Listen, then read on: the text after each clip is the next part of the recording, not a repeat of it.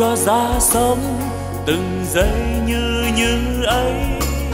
Sống luôn nồng thắm, lòng yêu thương nhân thế. Sống tôi vui sống, nguồn tâm luôn sáng trong. Sống an lành quá, lòng bao dung khắp nơi.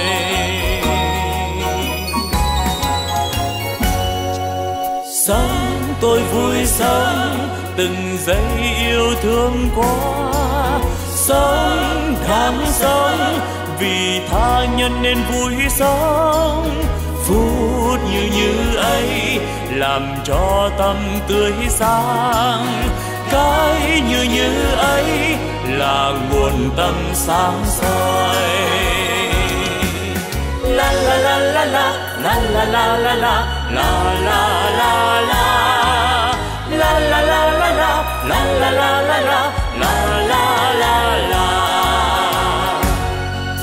nếu hay ra thế, đời ta luôn luôn mới. Sống yêu thương mãi, từ nay yêu thương mãi. Sống an vui thế, đời ơi ta vui sống sống như như thế mùa xuân luôn thắm tươi. Xuân mãi thắm tươi. Sống như xuân mãi mình đang như như thế. Chính như như đó là quê hương ta sống. Sống ta vui sống vì ta mãi mãi đời đời mãi tình khôi sống tôi đang sống. đời ơi sao vui quá. Sống tôi đang sống vì đời quá tươi vui. Sống như đang sống đời vui tươi mãi mãi. Sống đang vui sống từ nay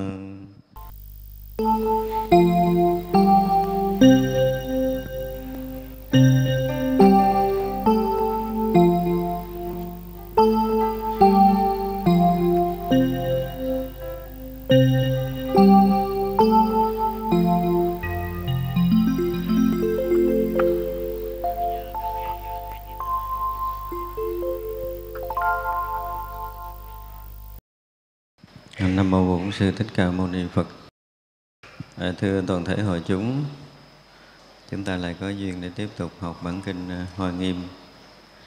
Thì kỳ rồi chúng ta đã học được hai cái phần trong ờ, mười vô tận tạng. Hôm nay chúng ta sẽ học cái phần kế tiếp.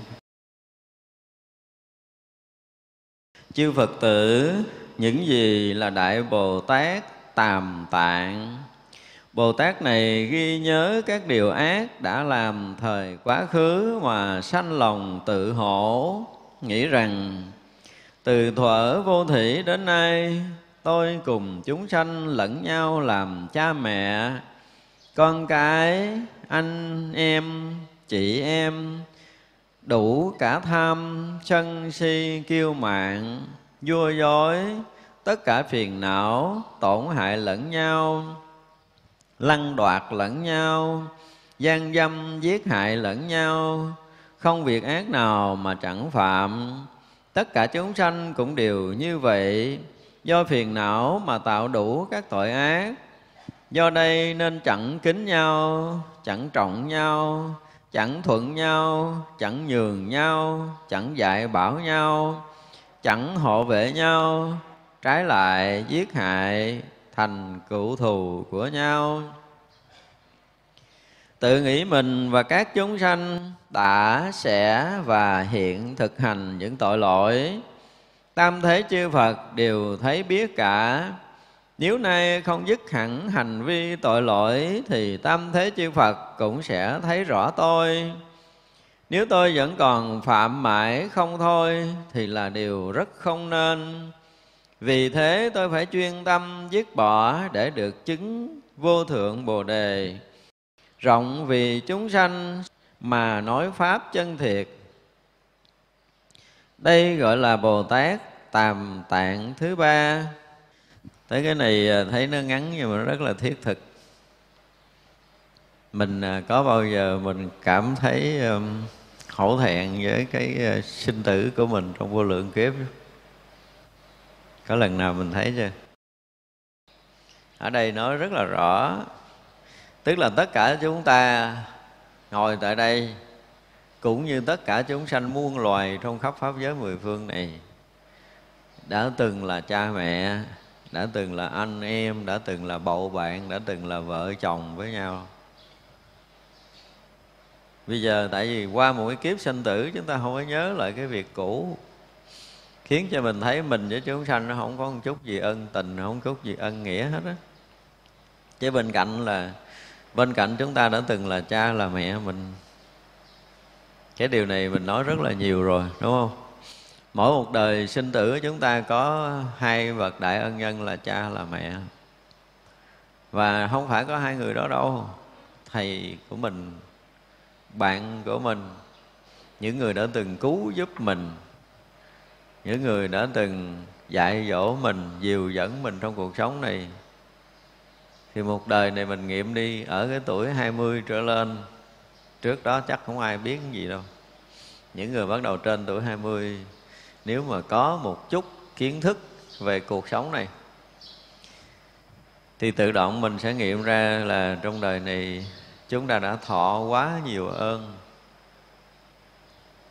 Đầu tiên là ơn của ai? Của chư phật nếu không có cái lực gia trì hộ niệm của chư Phật, chưa chắc chúng ta có một cái dây ngồi bình yên ở đây. Chư Đại Bồ Tát, các vị Thánh Hiền, chư vị Long Thiên Hộ Pháp, nhờ tất cả những điều này mà chúng ta có được phút giây yên ổn trong đời này. Một giấc ngủ yên của mình. Không đơn giản là chúng ta có thể ngủ yên rồi thức dậy yên như vậy đâu. Có một cái gì đó nó kinh khủng lắm nếu không ta thức dậy ta lạng quạng ta nói bậy, nói bạ, hoặc chúng ta bệnh hay là cái gì đó. Và chuyện này xảy ra cũng rất là nhiều.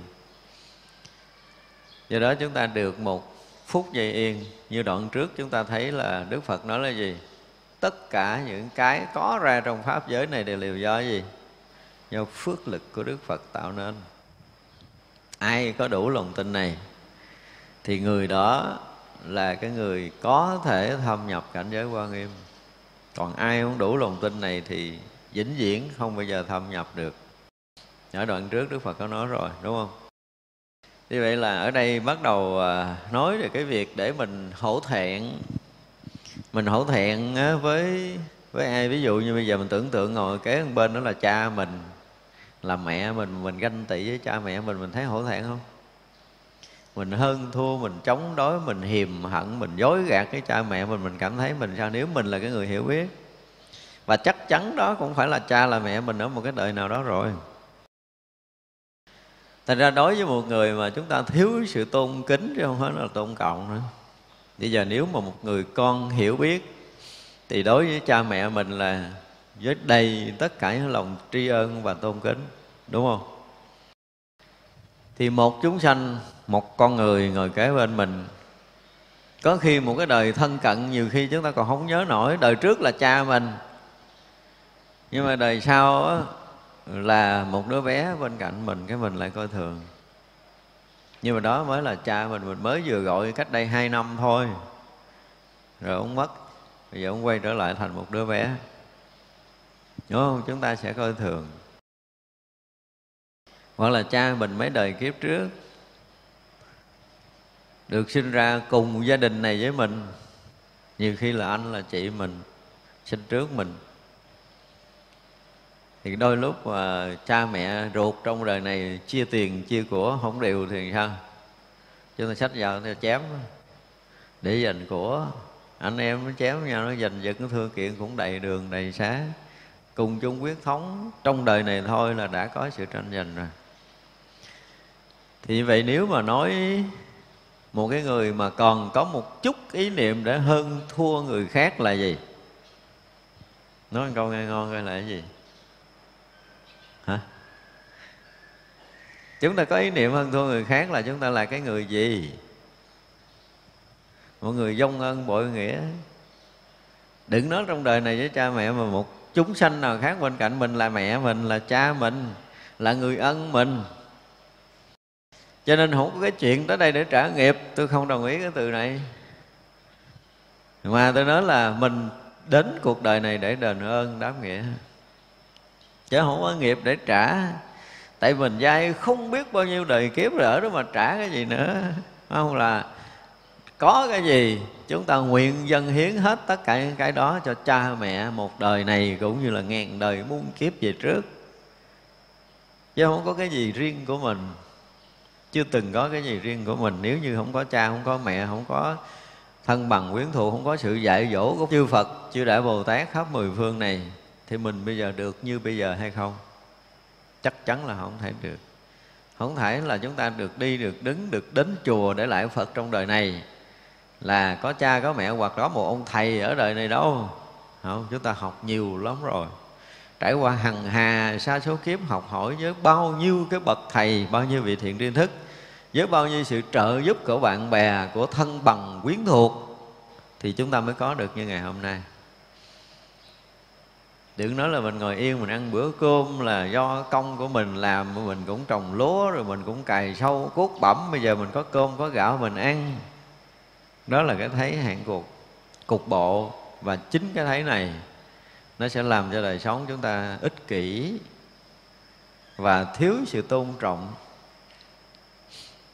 cho nên ở đây là mỗi người mà hiểu biết bắt đầu mới nghĩ cái việc sinh tử của mình mà cảm giác hổ thẹn. Tàm có nghĩa là hổ thẹn á, cái nghĩa rộng rộng đó là tàm quý, có nghĩa là bây giờ mình thấy cái chuyện mình làm sai mà sai thiệt, ngồi lại thì chúng ta thực sự là một tội đồ trong cái xã hội này chứ không phải là sai bình thường đâu tại vì đứa cha với mẹ, mình mình còn dám cự, còn dám cãi, còn dám hờn, còn dám hận, còn ganh đua, thậm chí còn muốn hãm hại nhau nữa. Trong đời mình có một lần nào đó mình hận ai chưa? Cái chừng đó là cha của mình đó, mẹ mình đó. Sinh tử vô lượng kiếp mình không nhận ra. Cách ấm vô minh rồi, cho nên chúng ta không nhớ được đời trước. Thật ra khi mà chư Đại Bồ Tát đã giác ngộ rồi, Nếu như một người giác ngộ mà không thấy được điều này Thì người đó vĩnh viễn không có thể nào nói giác ngộ được. Vừa có mở thánh trí mà không thấy được điều này, che lấp trở lại. Còn nếu như một chúng sanh bình thường mà thấy hiểu hết những điều này Thì thánh trí sẽ được mở. Chúng ta chưa có một giây nào trong cái đời sống này chúng ta không có thọ nhận không có thọ ơn. Đúng không? Nghiệm kỹ là đi, có dây nào chúng ta không có nhận từ bên ngoài hư không vũ trụ này không? Có một khoảng trống để cho chúng ta ngồi đây thôi là chúng ta đã nhận cái ơn? Không nếu không có sự trống rỗng, cô đặt đây chúng ta hết nhúc nhích, đúng không? Giống như chúng ta bỏ vô cục đá rồi bỏ đông cứng chúng ta bị đóng băng và chúng ta không còn sự sống. Còn sự sống thì từ cái chỗ tự tánh mênh mông thanh tịnh kia là một lực sống đã truyền xuống cái tầng tâm cho mình. Từ cái tầng tâm mới truyền xuống cái thân này và cái thân này được hoạt động. Thì cái lực mênh mông của vũ trụ là một lực sống luôn ban phát không tạm dừng từ ngàn xưa cho tới bây giờ. Nhưng mà chúng ta bao giờ nhớ lại chuyện này đâu? Và không nhớ chuyện này có nghĩa là người quên cội nguồn là người phạm cái tội tổ tông. Cho nên cái lúc mà chúng ta chưa nhận được tự tánh, có nghĩa là chúng ta đang còn phạm cái tội tổ tông. Chúng ta chưa tin tự tánh, chưa ngộ được tự tánh, có nghĩa là chúng ta đang phạm cái tội lớn. Đến khi mà chúng ta đủ trưởng thành, đủ trí tuệ để chúng ta có thể hòa nhập trở lại tự tánh, thì lúc đó chúng ta mới không có phạm cái lỗi này chứ không phải gì muốn tu giải thoát gì đâu, không phải như vậy. Chư phật khéo để dẫn dụ mình. Chư thánh khéo dùng cái từ cho nó hoa mỹ để dẫn dụ mình là phải à, tu tập, phải đạt ngộ, phải giải thoát cái dòng sinh tử luân hồi. Nhưng mà thực sự nếu chư Phật nói mình nó là mỗi người phạm tội tông đồ, bây giờ ngươi phải làm sao để mà nhận ra được tự tánh để thoát khỏi cái tội tổ tông này? Thì mình nghe nó nó cứng quá, nó khó nghe, không lọt lỗ tai mình không theo. Đức Phật mới dẫn dụ đủ điều nói chuyện luân hồi sinh tử. Nhưng mà sự thật nếu như một chúng sanh nào mà không có kịp quay về nguồn của một đời nào đó thì đời đó ấy, xem như chúng ta đang phạm tội tông đồ. Những cái nguồn thanh tịnh của tự tánh mà chúng ta không quay lại được tức là cái chỗ khởi nguồn để sinh ra mình mà mình còn không biết không hay. Giống như là con lớn lên không biết cha mẹ mình là ai.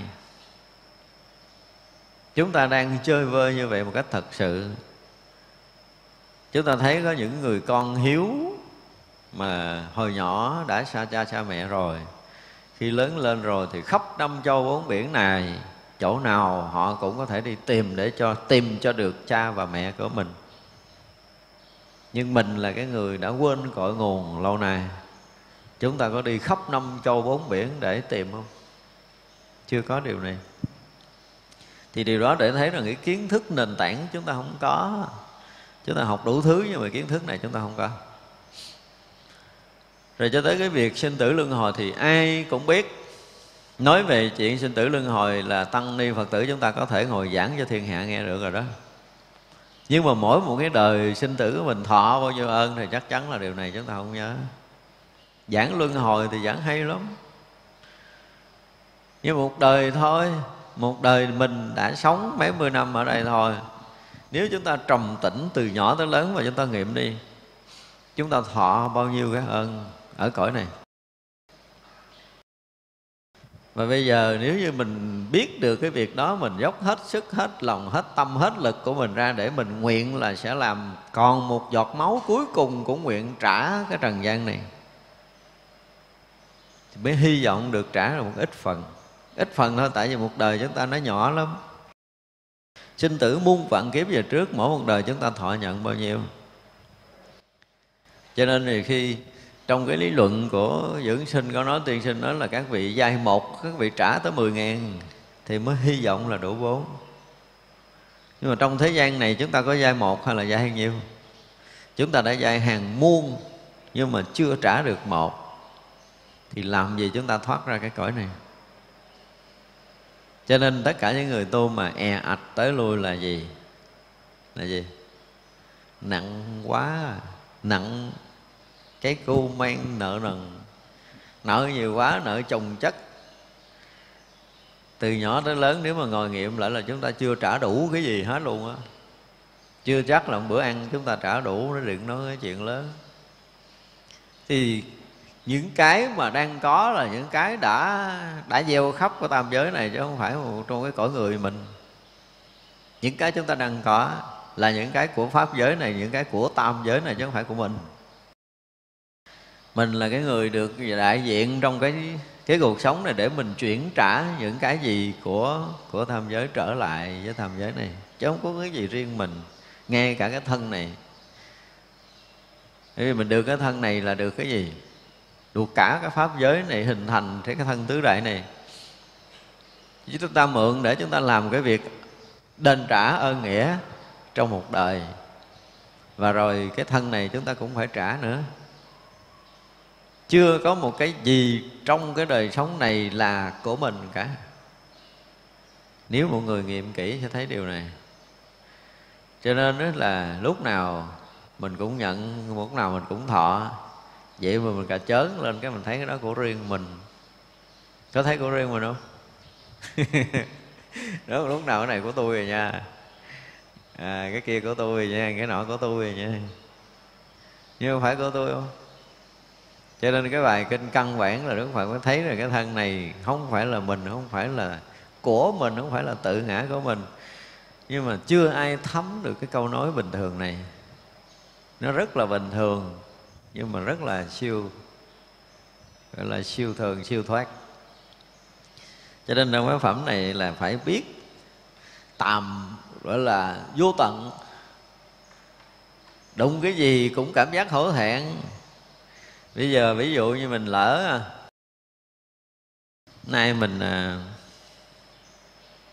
được ăn bữa cơm ngon cảm thấy tàm không hay là cảm thấy là tự hào là mình bữa nay mình có phước, có lộc ăn. Đi tới đây có người ta đãi mình ăn. Đúng không? Mình có lộc ăn. Cái đó là do mình tu, mình có phước. Chứ có bao giờ mình hổ thẹn, mình thấy rằng cái bữa ăn này nè, thấy chưa? Với bao nhiêu công sức, bao nhiêu mồ hôi, nước mắt. Của rất là nhiều người mới có được bữa ăn ngày hôm nay và mình làm được cái gì từ sáng về để xứng đáng để mình ăn được bữa cơm này? Mình thấy rõ ràng sáng giờ mình chưa có làm được một chút công đức, phước đức gì để có thể trả được chén cơm này, mình hổ thẹn không?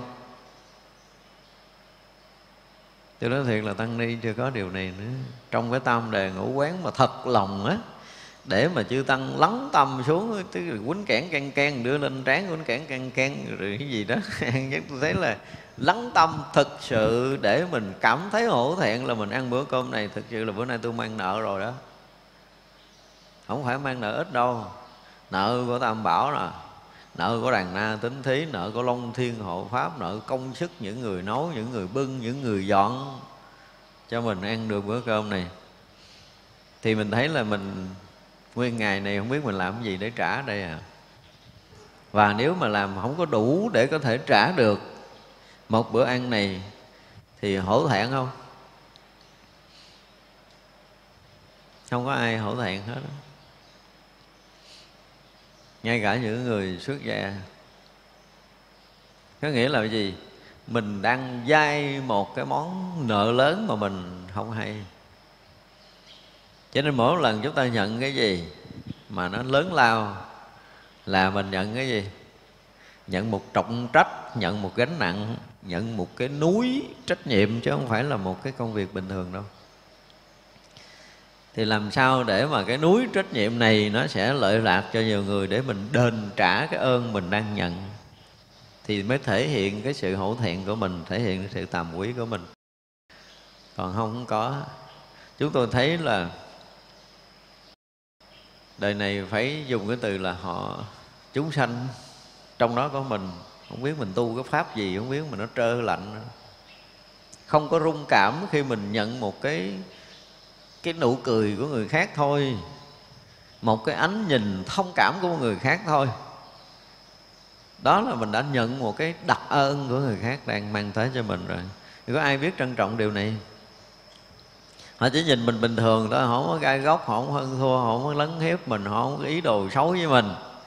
Thì đó là gì? Rồi đã ban phát cho mình một đặc ân sống rồi đó. Đó là cái nghiệp mà cha thương con hồi trước. Cái nghiệp của mẹ đã từng thương mình hồi trước. Cho nên bây giờ vẫn nhìn mình với cặp mắt triều mến. Đúng không? Mà có bao giờ mình có nhận ra được ánh mắt đó chưa?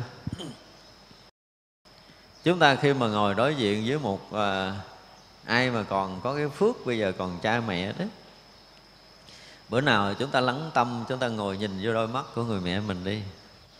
Hay lắm.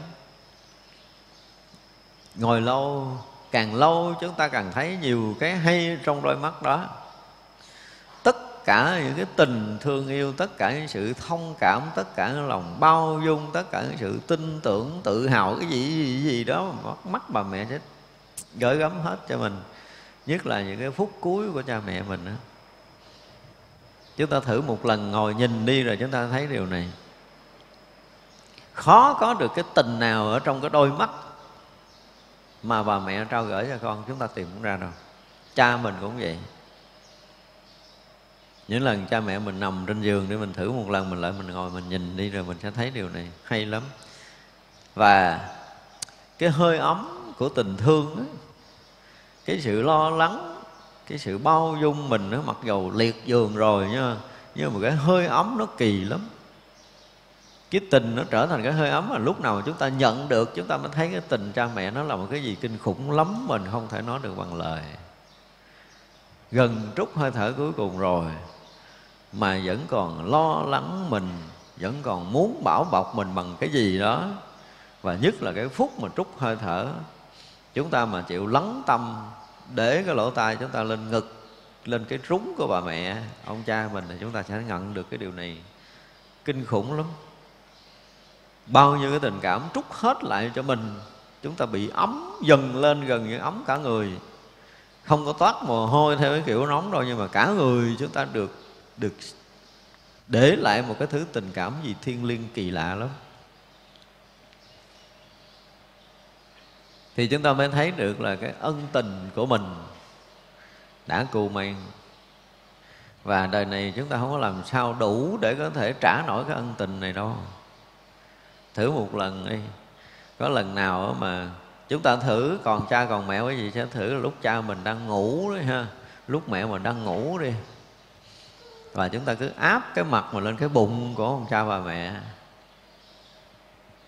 Thì chúng ta sẽ nhận được một cái gì kỳ lạ lắm một là chúng ta nhìn thẳng đôi mắt. Cái điều này tại vì có kinh nghiệm thực hiện rồi, tôi chỉ.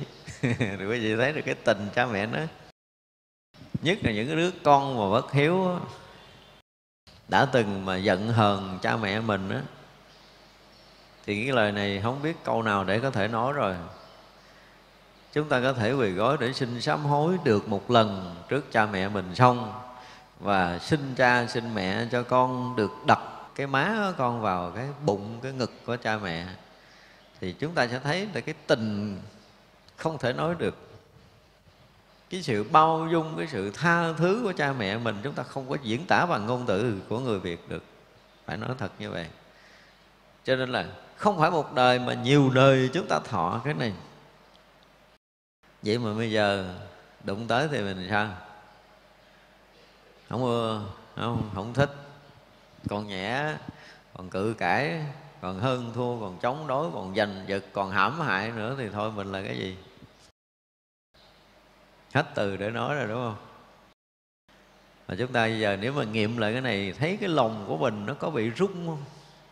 Nếu chúng ta thực sự rung cảm với cái việc này, thì chúng ta thực sự khởi cái tâm tàm của mình lên rồi đó. Tới cái sự hổ thẹn của mình lên rồi còn nếu mà chúng ta chưa cảm thấy rung cảm việc này, chúng ta cũng thấy bình thường. Đó là lý luận thì thua rồi. Mình là cái người bị chai lì và hết thuốc trị rồi hết thuốc trị rồi. Cho nên ngay ở đây, nếu mà chúng ta thực sự có sự rung cảm đối với những cái ân tình mà chúng ta đã thọ nhận trong ngàn đời môn kiếp về trước, thì bây giờ mình phải có cái phát nguyện gì? Tự động mình sẽ có một phát nguyện gì? Nếu ngay trời phút này, đối với tất cả mọi người, mọi loài á, mà chúng ta không có đủ cái lòng tôn kính, thì chúng ta là cái người gì? Tiếp tục dông ân bội nghĩa. Do đó cái sự tôn kính đối với tất cả mọi người, mọi loài ấy bởi vì tôi nói cái cái ờ, hồi trước có nói một cái bài về cái lòng khiêm cung á nói nghĩa là mình tự hạ mình xuống mà mình mới thấy được như thế này nè. Trong lòng của mình mà kể từ khi chúng ta học cái phẩm này, kể từ bây giờ, mà mình không có phát khởi cái lòng tôn kính đối với tất cả chúng sanh muôn loài, thì xem như chúng ta không có học đạo Phật. Nếu chúng ta còn thấy ai mình có thể hơn thua được, thấy ai mình có thể chống đối được, thấy ai mình có thể ganh tị được mình có thể thù hằn ai đó, mình có thể ganh ghét ai đó, mình có thể bất mãn ai đó, mình có thể không chấp nhận ai đó nơi lòng. Thì rõ ràng chúng ta không phải là người học Phật chân chánh. Tại vì mình là người dông ân bội nghĩa thì đạo Phật không có trong lòng mình đâu. Ai đó trước đây mình đang khinh thường, thì khi học tới đây rồi thì mình phải đầy đầy lòng kính trọng. Chúng ta phải kính trọng lại để thể hiện là mình cái người học Phật chân chánh sau khi được cái lời dạy của Phật tổ là chúng ta phải thực hiện liền trong đời sống này của mình. Thế vậy là vừa tôn kính nè, vừa chăm lo nè, vừa hộ vệ nè, vừa dạy dẫn dìu nhau nha, vừa thuận thảo với nhau, vừa hòa hợp với nhau, vừa gắn kết với nhau, vừa chăm lo với nhau, vừa nâng đỡ với nhau, vân vân, vừa bảo bọc với nhau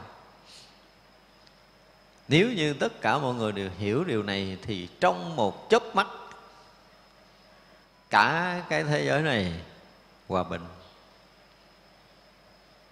Hòa bình liền đâu có cần gì nữa đâu, tại vì tất cả đều là ân nhân của mình, là những người cần mình phải chăm lo, là những người cần cái, là những người mà chúng ta cần phải đền trả cái ơn nghĩa, chứ không có kẻ thù.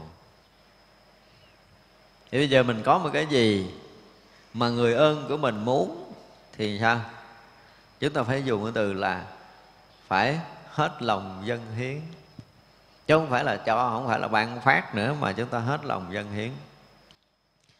Rồi chúng ta thấy có cái hành động đó ở với cái người phật tử. Tư tăng thì không biết là có chưa ni, chưa có, không biết có hay không. Nhưng phật tử chúng ta có là khi mà chúng ta đem tiền, đem của mình quỳ trước tam bảo và đại diện là chư tăng. Một cách rất là cung kính, một cách rất là thành khẩn để người ta cúng dường. Tức là người phật tử họ làm được. Nhưng mà chư tăng thì không biết có chưa. Và những người phật tử bình thường, đối trước tam bảo chúng ta làm một điều đó. Nhưng bây giờ đối trước người ơn ngửa là ai đó ngoài đường chưa từng quen với mình.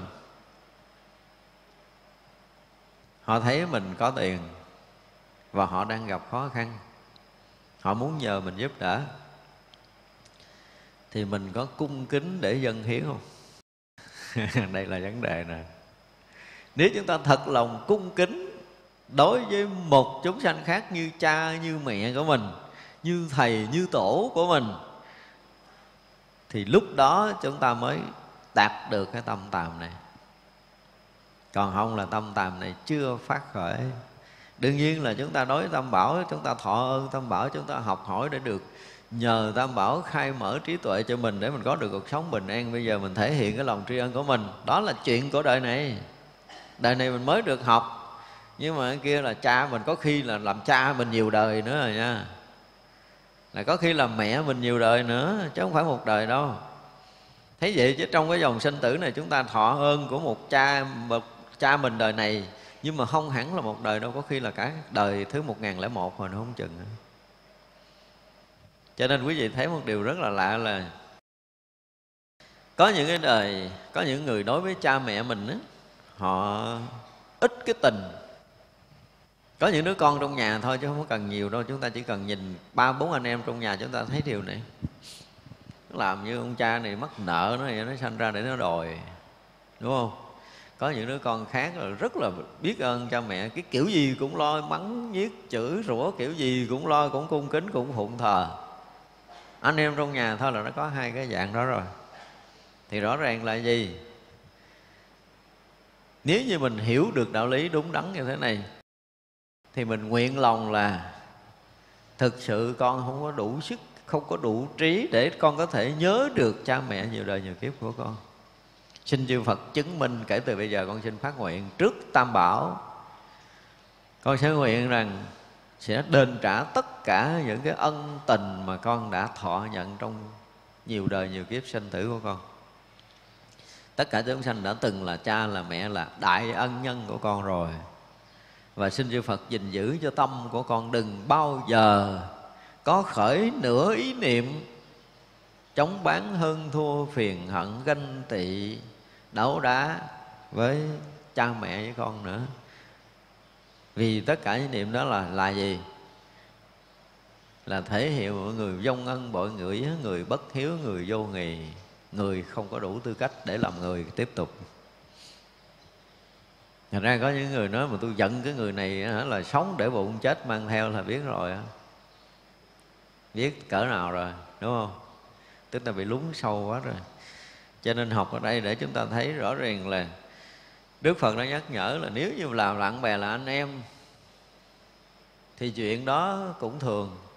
Nhưng mà đã là cha mẹ của mình là chuyện lớn rồi là những bậc đại ân nhân là thầy tổ của mình đã nhiều đời nhiều kiếp dạy dỗ, dẫn dắt mình đi trong sanh tử này. Để giờ phút này chúng ta sinh ra đời mà chúng ta phát khởi được thiện tâm đi theo con đường giác ngộ, thì ân của thầy tổ không nhỏ thực sự lúc này chúng ta chưa có hiểu biết gì về đạo lý gì đâu nhưng mà ít lắm nơi lòng chúng ta cũng tôn trọng điều thiện. Và chúng ta lánh xa điều ác thôi. Thì là ơn rất lớn của tam bảo, của thầy tổ nhiều đời nhiều kiếp của mình. Cho nên chúng ta chỉ cần cầm một cái cây nhang rồi được đốt lên quỳ trước tam bảo, chúng ta lễ lại. Nhưng mà chúng ta thấu hiểu được cái ân á cái ân tình mà chúng ta đã thọ thì rất ý nghĩa. Nhưng mà có nhiều người cầm nhang lên giấy đó là con như thế này, thế kia, con cần phật cho con thêm cái này nữa, con thêm cái kia nữa, con thêm cái nọ nữa. Cái trên thêm mà chứ chưa bao giờ là chúng ta đốt cây nhang rồi mình thể hiện là nhờ ơn Phật chư Bồ Tát, chư Vị Thánh Hiền mà con có mặt trong trần gian này và con có mặt trong phút giây hiện tại này một cách rất là yên ổn như là nhờ ơn quá lớn của quý ngài, con xin cúi đầu đảnh lễ để tạ ơn và con nguyện sẽ làm được tất cả những cái việc gì để có thể lệ lạc chúng sanh đền ơn chư Phật con xin nguyện làm. Đúng không hoặc là bây giờ mình nói từ cái chuyện mà mình đã thọ ơn cha mẹ nhiều đời nhiều kiếp rồi nè, bây giờ mình phát nguyện trước tam bảo đi, ha. Sau buổi học này chúng ta nên khấn nguyện, phát tâm khấn nguyện trước tam bảo đi, kể từ giờ phút này con xin tam bảo chứng minh cho lòng con. Tại lâu nay trong sinh tử luân hồi mù mịt, con không biết tới bây giờ con mới hay ra là con đã thọ quá nhiều ơn trong vũ trụ này rồi. Quá nhiều ơn đối với tất cả chúng sanh muôn loài rồi. Những người đã là cha, là mẹ những bậc trưởng thượng, những người thầy tổ, những bậc đại ân nhân đã từng ban cho con quá nhiều trong cái dòng sống, trong cái dòng sinh tử luân hồi mà con không hay ra. Bây giờ con hay ra rồi xin chư Phật chứng minh để con giữ được cái tâm cung kính của con từ đây cho tới ngày con thành Phật. Con xin được cung kính đối với tất cả chúng sanh muôn loài, đối với tất cả những người nào con được thấy tới họ, con được nghe tới họ, con hiểu tới họ, con biết tới họ, thì xin chứng minh cho thăm con. Luôn luôn giữ vẹn cái lòng tôn kính như tôn kính cha mẹ ruột hiện đời của con như vậy. Và gì nữa? Nếu như cha mẹ nhiều đời nhiều kiếp, cần gì ở nơi con? Thì con nguyện xả bỏ cái thân mạng này để con đền trả. Nhớ không?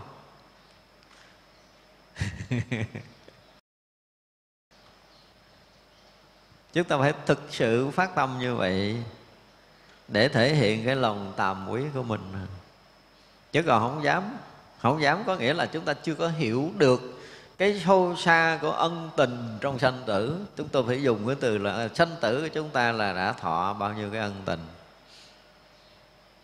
Thì nên kể từ lúc mà chúng tôi nói không chấp nhận cái từ gọi là tới đây để trả nghiệp, không chấp nhận cái từ đó. Đến cuộc sống này để đền trả những cái ân tình. Ngoài đó ra là không có chuyện khác. Cho nên mỗi một lần mà mình được à, phụng sự một chúng sanh nào đó mỗi một lần mà mình được làm cái lợi ích cho một người nào đó, thì mình sao?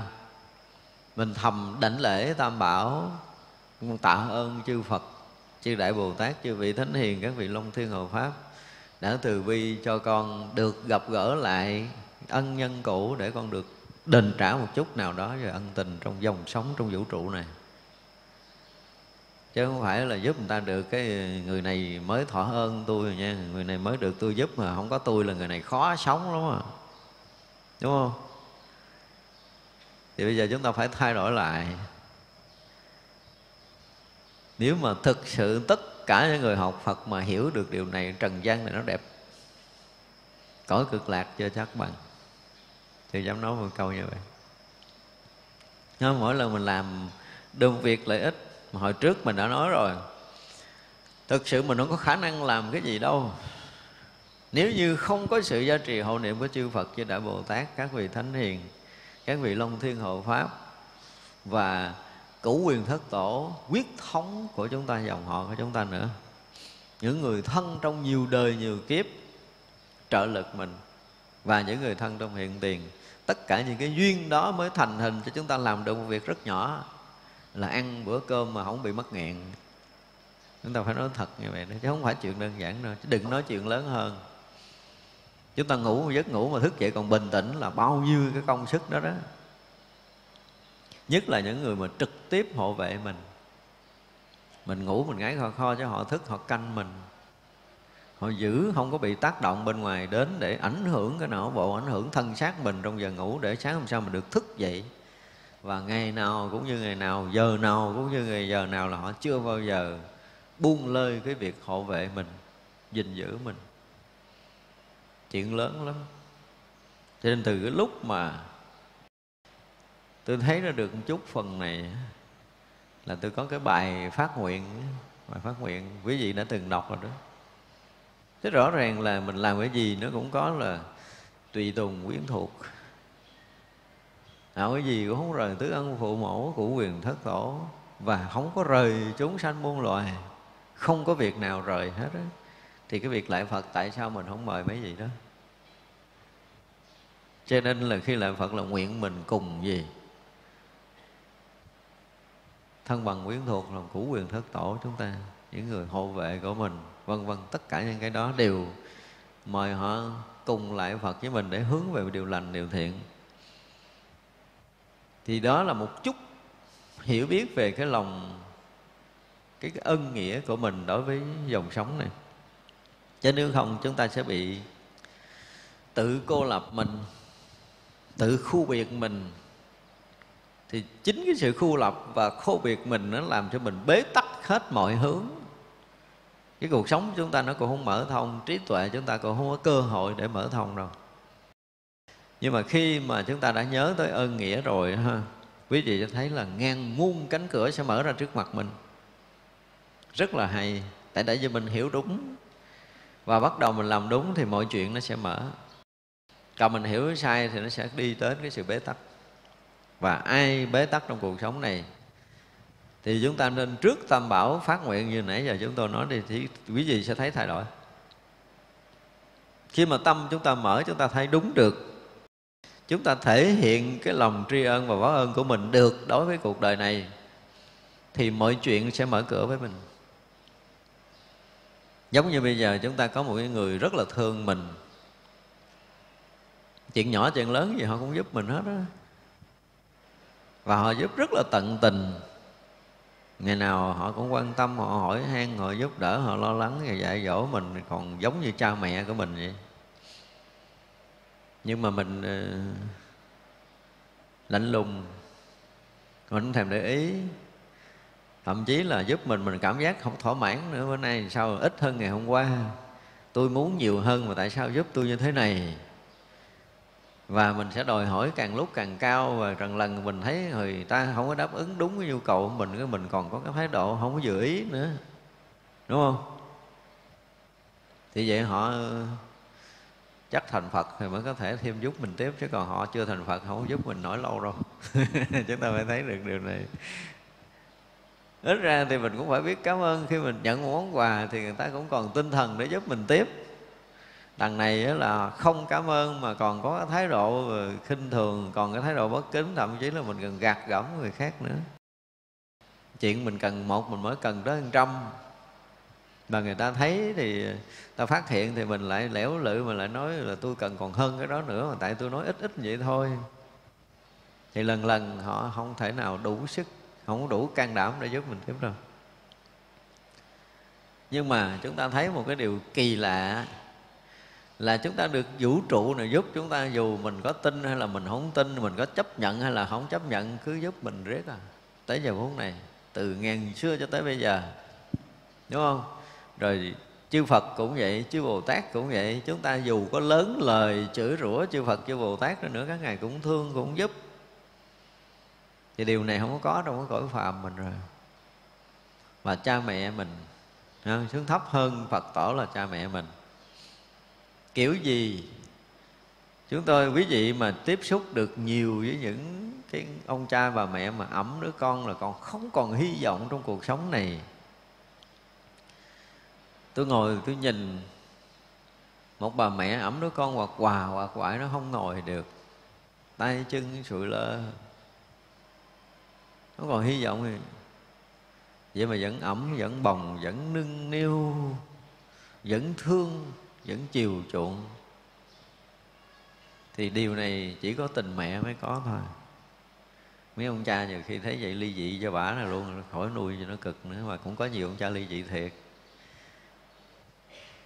mà mình thấy rõ ràng là người mẹ vẫn vuốt ve vẫn nựng niệu, vẫn thương quý đứa con mặc dù là không còn hy vọng gì. Cả đời còn sống là cả đời ẩm nó trên tay như vậy.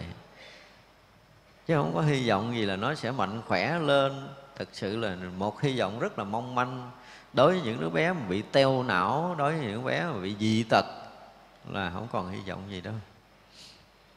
Nhưng mà ông cha bà mẹ vẫn nuôi nấng thì đây là cái điều mà chúng ta phải thấy là cái ân tình của cha mẹ là không thể tả được. Mình đi nè, bây giờ mình mạnh khỏe, đúng không? Mà mình lỡ có làm sai, người khác lại vẫn vốn ừ, cha mẹ mình, cha mẹ mình bưng lên, binh không? Ở ngoài giả bộ la la, mình cho vừa lòng chồng sớm thôi, chứ vô trong là ôm mình, nó vuốt mình, nó con, tại vì nãy gì chồng sớm mẹ đáng la con thì con cũng thông cảm. Tức là cái tình nó lúc nào nó cũng đông đầy, chưa bao giờ bị vơi. Đây là cái điều rất khó, có ở một cái người bình thường ngoài cái tình cha mẹ. Cho nên chúng ta nhìn thấy đi, lúc nào chúng ta cũng được sự bảo bọc của vũ trụ mênh mông này của hư không, của pháp giới này, của tình thương của phật, của tổ, của cha mẹ, của của quyền thất tổ chúng ta. Quá lớn đi. Nếu mình hiểu như vậy đó kể từ bây giờ cho tới hết cái đời này của mình đó, có cái gì từ công sức cho tới trí tuệ của mình, cho tới những cái khả năng dụng dập nhất của mình mà mình có thể làm lợi ích cho ai ấy, thì mình nguyện là sẽ làm một cách tận tâm tận lực. Thì mới hy vọng là đền trả một chút xíu siêu gì đó cái ơn sủng của vũ trụ mênh mông này. Cho nên trong cái bài tạ ơn quý vị thấy tôi nói rất là đủ về cái lòng biết ơn của mình. Xin đa tạ xin trọng ơn tất cả. Từ cái vũ trụ mênh mông cho tới đất trời sông núi cho tới cửu quyền thất tổ cho tới phật tổ cho tới bồ tát, chư vị thánh hiền. Chúng ta không có lần nào đối với cuộc sống này mà xin đa tạ, xin trọng ân tất cả thì chưa đâu. Nhưng mà khi chúng ta hiểu rõ cái câu đó rồi, quý vị sẽ thấy rằng đúng là chúng ta phải quỳ trước cái vũ trụ mênh mông này chúng ta nguyện cúi đầu đảnh lễ hết tất cả những cái đã có, đang có và sẽ có mà mình sẽ tiếp xúc trong dòng sống này. Và không phải trong một đời này mà hằng hà sẽ số kiếp về trước cũng như hằng hà số kiếp về sau, chúng ta sẽ tiếp nhận, đang thọ nhận, đang thọ ơn. Và lòng này được mở tới đâu, chúng ta nguyện sẽ đem tất cả những lòng tri ân đến đó để thể hiện cái sự cung kính và tri ân của mình. Thì mới được chứ nếu không, chúng ta bị che khuất. Cái lòng tri ân này mà không có, nghe tới cái cái cái tàm đây là tàm vô tận tạng mà, nó lớn lắm. Cái tâm tàm nó lớn lắm. Rồi nếu mà chúng ta thấy kỹ đi, một cái cái đọt non của một cành lá đang bắt đầu mọc ra, thì nó chắc bắt đầu làm cái gì? Bắt đầu nhả oxy để cho mình thở mà nhưng mà nhiều khi mình đi, mình dẫm đạp lên, mình có để ý đâu. Dẫm lên nó nhưng mà nó vẫn tiếp tục nhả oxy cho mình thở. Chúng ta thấy những cái loài mà thực vật một cách rất là vô tri, đúng không? Nhưng mà nó vẫn làm lợi cho mình. Cho nên khi nào ở trong đời này, chúng ta thấy một cái sự việc không có cái gì lợi ích cho bản thân mình trong thực tế. Mà mình thấy được cái lợi ích của cái sự việc đó thì chúng ta là người có một chút trí. Giống như hư không này, chúng ta thấy đâu có lợi ích gì mình, đúng không? Nhưng mà không có hư không, chúng ta nhúc nhích được không? Không có hư không, chúng ta có thể sống được không? Không được. Không bao giờ chúng ta để ý để mà khi mà chúng ta từ nằm, chúng ta ngồi dậy, chúng ta quơ tay quơ chân mà nó không có đụng cái thứ gì, đúng không? Để chúng ta đi tới lui thoải mái, chúng ta muốn làm việc mình muốn làm. Thì có bao giờ chúng ta chấp lại là cảm ơn nhờ hư không này mà tôi được làm việc tôi muốn làm không? Chưa từng. Chúng ta chưa từng làm điều này. Thành ra khi mà chúng ta dùng cái từ là xin đa tạ xin trọng ơn tất cả thì từng hành động rất nhỏ trong cuộc sống này của mình. Một người khác nói mà mình có thể nhận được mình còn hiểu được. Và mình còn gật đầu được, mình còn chấp nhận được là quá quá nhiều cái ơn để mình có thể nghe được một âm thanh. Thì chúng ta phải trọng cái ơn này. Đó, thì như là từ cái việc nhỏ cho tới cái việc lớn.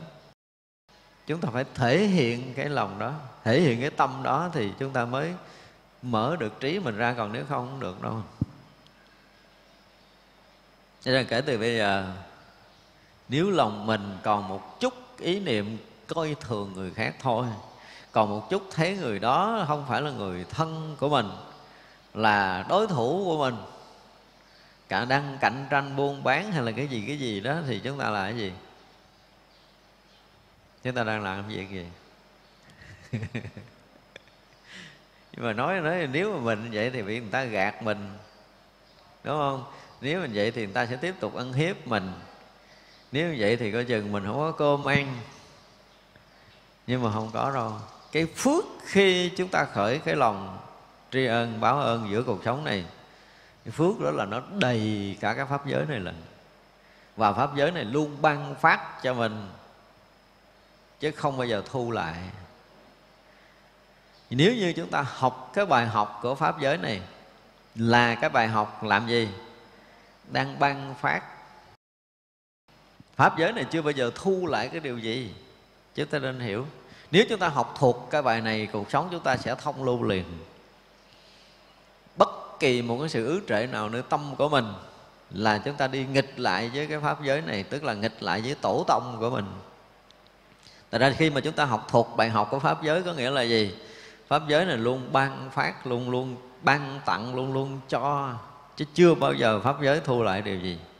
Nếu chúng ta muốn có không khí để thở thì sao? Liền có, không có không có cân nhắc thì như vậy một cái ngày nào đó chúng ta đối với tất cả chúng sanh muôn loài và cái nhu cầu của họ mà chúng ta ban liền không có sự cân nhắc thì lúc đó là mình hy vọng là đạt được cái tâm tàm này Cả bây giờ là người này nhờ rồi mình phải có suy nghĩ coi nó làm sao nó tốt hay không nó xứng đáng để được mình giúp hay không giúp nó để mình được cái gì và thấy rõ ràng mình giúp đây cái mốt mình được lợi nhiều hơn. Hoặc được làm. Đúng không? Còn lỡ mình giúp nó, mình mất vốn luôn rồi, thôi này từ chối. Chứ chúng ta chưa bao giờ sâu nơi lòng mình thể hiện được cái lòng đền ơn và bỏ ơn một cách thực thụ đối với ai. Cho nên nói về ơn nghĩa giữa cái dòng sống này, nếu chúng ta muốn nói thì gần như cả đời nói không hết. Đúng không? Không bao giờ chúng ta nói hết điều này chỉ còn cái là chúng ta làm được cái gì? Khi chúng ta hiểu được điều này thì chúng ta làm được cái gì? Kể từ bây giờ.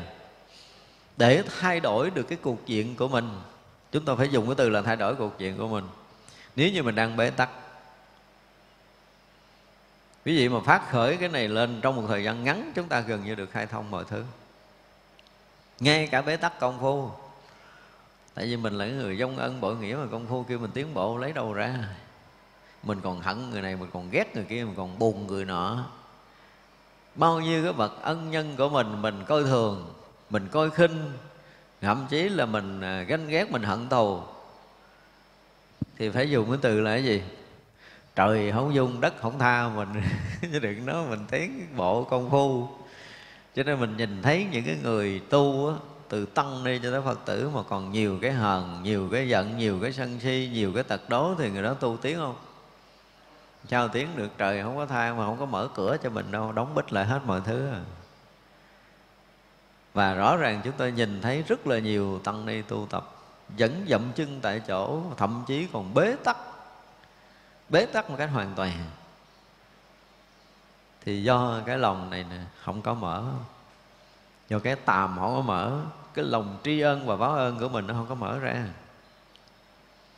Chứ mình mở cái đó ra rồi là mọi cánh cửa sẽ mở thử đi. Bây giờ mà dùng cái từ gọi là gìn giữ và hộ vệ nhau. Ở trong chùa thôi, cái này có không? Về anh em, dòng họ có gìn giữ, hộ vệ nhau không? Còn khó thì vậy làm gì, mình tiến bộ được. Nếu không biết làm sao, tôi cũng lễ phật, tôi cũng ăn chay, thậm chí tôi nằm ban đêm không dám nằm giường, tôi nằm đất nữa rồi đi ra đường cũng đội nón rồi đi đầu trần rồi không mang dép đi chân đất nữa. Tôi cũng hành đạo ngày sáu thời mà sao tôi không tiến bộ? Tại tôi thấy bà kia tôi ghét quá lấy gì tiến bộ? Đơn giản là còn người mình ghét trong trần gian này. Đơn giản là còn một người mình không cung kính trân trọng trong trần gian này thì công phu của chúng ta sẽ bị bế tắc. Không phải đơn giản đâu. Cho nên mọi người muốn khai phóng được mình để vượt thoát đó, thì người đó phải có một chút trí tuệ trong cái cuộc sống này phải có lòng tri ân và báo ơn một cách rất là sâu sắc. Thì mới hy vọng tự kiểm lại coi. Lâu nay mình tu không tốt, mình coi coi mình còn ghét ai không? Đúng không? Mình còn hờn ai không? Mình còn giận ai không? Có những người mà trước kia tôi nói là người đó không thể tồn tại trong chúng lâu là có những người mà hai người cự nhau trong chúng. Tôi kêu lại, tôi nói là bây giờ trước mặt tôi tôi kêu xin lỗi, dứt khoát không là không đó thầy không. Con không bao giờ xin lỗi người này được. Thì tôi chỉ nói một câu là tôi nói vậy rồi rồi. Nói một câu đó tới tôi không nói một câu thứ hai được. Không đủ sức để nói câu thứ hai. Nó nghẹn cổ không nói được. Và rõ ràng trong thời gian ngắn là người đó không có tu tiếp được. Không thể nào được. Trừ một người tu mà nói là tôi dứt khoát thì tôi không thể xin lỗi người này được là thua rồi không có cái chuyện đó. Nếu mà mình là một người thật tu á, khi mình có lỗi lầm là bất kỳ ở đâu cũng phải quỳ xuống cái đã để lại. Một con trùng con kiến khi cần thiết chúng ta cũng có thể quỳ xuống lại một cách không ngượng ngập. Thì mới hy vọng là tâm chúng ta nó mềm mại để sửa đổi. Còn mà giận người khác nữa là tôi không bao giờ tôi tha thứ cho nó là cái gì xong rồi đó. Đời này là không cách nào để mở tâm chúng ta ra được vì là mình đã phạm tội tông đồ đúng không? Thì trời không dung đất không tha của mình. Ở đây nói là chúng ta giận á, thì phật cũng thấy. Đúng không? Chúng ta thương thì phật cũng thấy. Chúng ta tốt thì Phật cũng thấy chúng ta xấu thì Phật cũng thấy. Mà Phật thấy thì chư Bồ Tát thấy các vị Long Thiên Hộ Pháp thấy chư Thiên thấy. Và tất cả những người trong cái cõi âm họ đều thấy mình. Chỉ vậy cái mình muốn trúng số độc đắc à chuyện còn lâu nếu mình muốn cái tâm mình yên yên sao được mình yên? Đối với người ân của mình mình còn hơn thua, chống đối mà kêu mình yên để được cái gì? Để mình được sức khỏe, mình chống đối nhiều người hơn nữa là sao? Cho nên bắt buộc mình phải trả giá, họ sẽ bóp nghẹt mình lại để mình không còn khả năng để chống đối, không còn khả năng để phản trắc nữa. Đó là cái giá của những người hơn thua phải trả. Cho nên chúng ta bị bế tắc, chúng ta bị bệnh tật là tâm chúng ta không mở. Nếu chúng ta mở tâm, đối với bệnh cỡ chừng đó là một cái người ân mình muốn tới đòi cái gì mình. Nhưng mà mình không sẵn sàng để gì? Để dân hiến cái của mình. Cho nên mình bị bế tắc. Mình bảo thủ cho nên bị bế tắc. Ở đây á, nếu mà bây giờ mình đã phát nguyện tước tam bảo, đúng không? Có một cái vị ân nhân nào tìm tới con? Thì con cũng phải ngầm biết đó là cha, là mẹ nhiều đời nhiều kiếp tới để cần một cái việc gì đó. Thì sao? Con sẽ sẵn lòng, phải nói là sẵn cái mạng này để trả chứ không phải là sẵn lòng để làm việc nhỏ để trả. Thì không có cần phải là ờ, phát nguyện bao dung gì hết á. Tại vì mình đã quá hiểu là không ai không phải là người ơn của mình. Cái này nó phải thật sự thấm thật sự ngấm trong lòng của chúng ta. Để vì người nào cũng là người ơn của mình. Ví dụ như bây giờ mình tưởng tượng có một cái ờ, một người con hiếu đi đúng không? Thì uh, cha mẹ của mình yếu mình muốn đứng dậy đi thì mình sao? Mình để lẹ lại để mình đỡ mình dìu cha mẹ mình cần bữa ăn mà đang đói bụng mình lẹ lẹ, làm sao để có bữa cơm cho cha mẹ mình ăn? Cha mẹ mình cần một cái điều gì đó thì mình phải làm bằng tất cả những cái tâm lực của mình. Mà không hề có một cái ý niệm chán nản hay buồn phiền, giận dỗi trong này. Đó là những cô con hiểu. Nhưng bây giờ chúng ta có thể hiếu với một người nào đó ở ngoài đường được như vậy chưa? Mình thấy rõ ràng là nếu chơi tiếp tục với người này nếu gần gũi tiếp tục người này là mình tiếp tục hao tốn rồi mình tiếp tục uh, cái gì đó lo lắng là tiếp tục phiền muộn là tiếp tục mất công mất sức nè. Và mình sẵn sàng tiếp tục với người này cho hết đời không? Mặc họ không thương không để ý gì tới mình. Nhưng mình có thể làm được điều đó không? Cũng chưa có nữa đúng không? Cho nên chúng tôi thấy có rất là nhiều người tu cũng như là không tu, cái tâm mình nó chai đến cái độ là gì? Tôi thấy nhiều khi cái ờ, cái người đó họ đau cái tay thôi. Chúng tôi dùng cái từ là đau cái tay, đơn giản là họ đau cái tay thôi. Và họ không thể cầm nắm được thức ăn. Thì chúng ta có ngồi đút cho họ từng muỗng cơm để cho họ ăn một cách bình thường không? Thử một ngày chúng ta làm như vậy đi đút bằng ờ, một cái sự cung kính như mình đút cơm cho cha, cho mẹ mình ăn bằng tất cả những lòng thương yêu, quý kính nhất của mình một lần ấy. Quý vị sẽ thấy đời sống này nó đẹp lắm. Tại vì mình chưa làm cái việc đẹp, cho nên mình thấy đời sống này còn nhiều cái chuyện hơn thua chống đối với mình. Chứ quý vị đã làm một lần đi, thấy cuộc đời mình nó hay lắm, mình sẽ gặp rất là nhiều chuyện đẹp nữa để mình làm. Nhưng chúng ta chưa làm được việc có nghĩa thành ra là cái đời sống này nó không có mở những cái cửa hiền thiện ra trước mắt mình để mình có thể tiếp tục làm. Thành ra có nhiều lúc đó, chúng ta thấy cái hành động của đức phật từ cái thời mà đức phật thành phật đó, cái phước của đức phật chỉ cần á là mở tâm ra để cho cắt cõi để cúng dường thôi.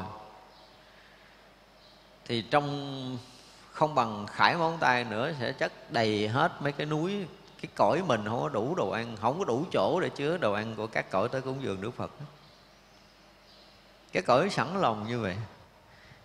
Nhưng mà đức phật lại đi từng bước trong cái cõi nhân gian này để nhận những cái bát cơm của những người bần hàng, những người dơ dái, những người ti tiện cúng dường. Để làm gì? Tập cho người ta mở tâm ra cho được một cái gì nhỏ nhất mà quý thì đó cũng là cái cách để người ta mở tâm ra. Đức phật phải làm việc đó từng ngày. Nhiều khi á, gặp mấy vị thánh tăng chưa chắc người đó mở tâm tại vì mấy người này cố chấp kinh khủng lắm. Nhưng mà gặp đức phật là tự động họ mở tâm ra. Thì thành ra đức phật phải xuất hiện trước họ để họ có thể cho một hai hộp cơm chưa chắc là họ cho được một muỗng nữa nhưng mà đó cũng là một lần trong đời của họ mở tâm.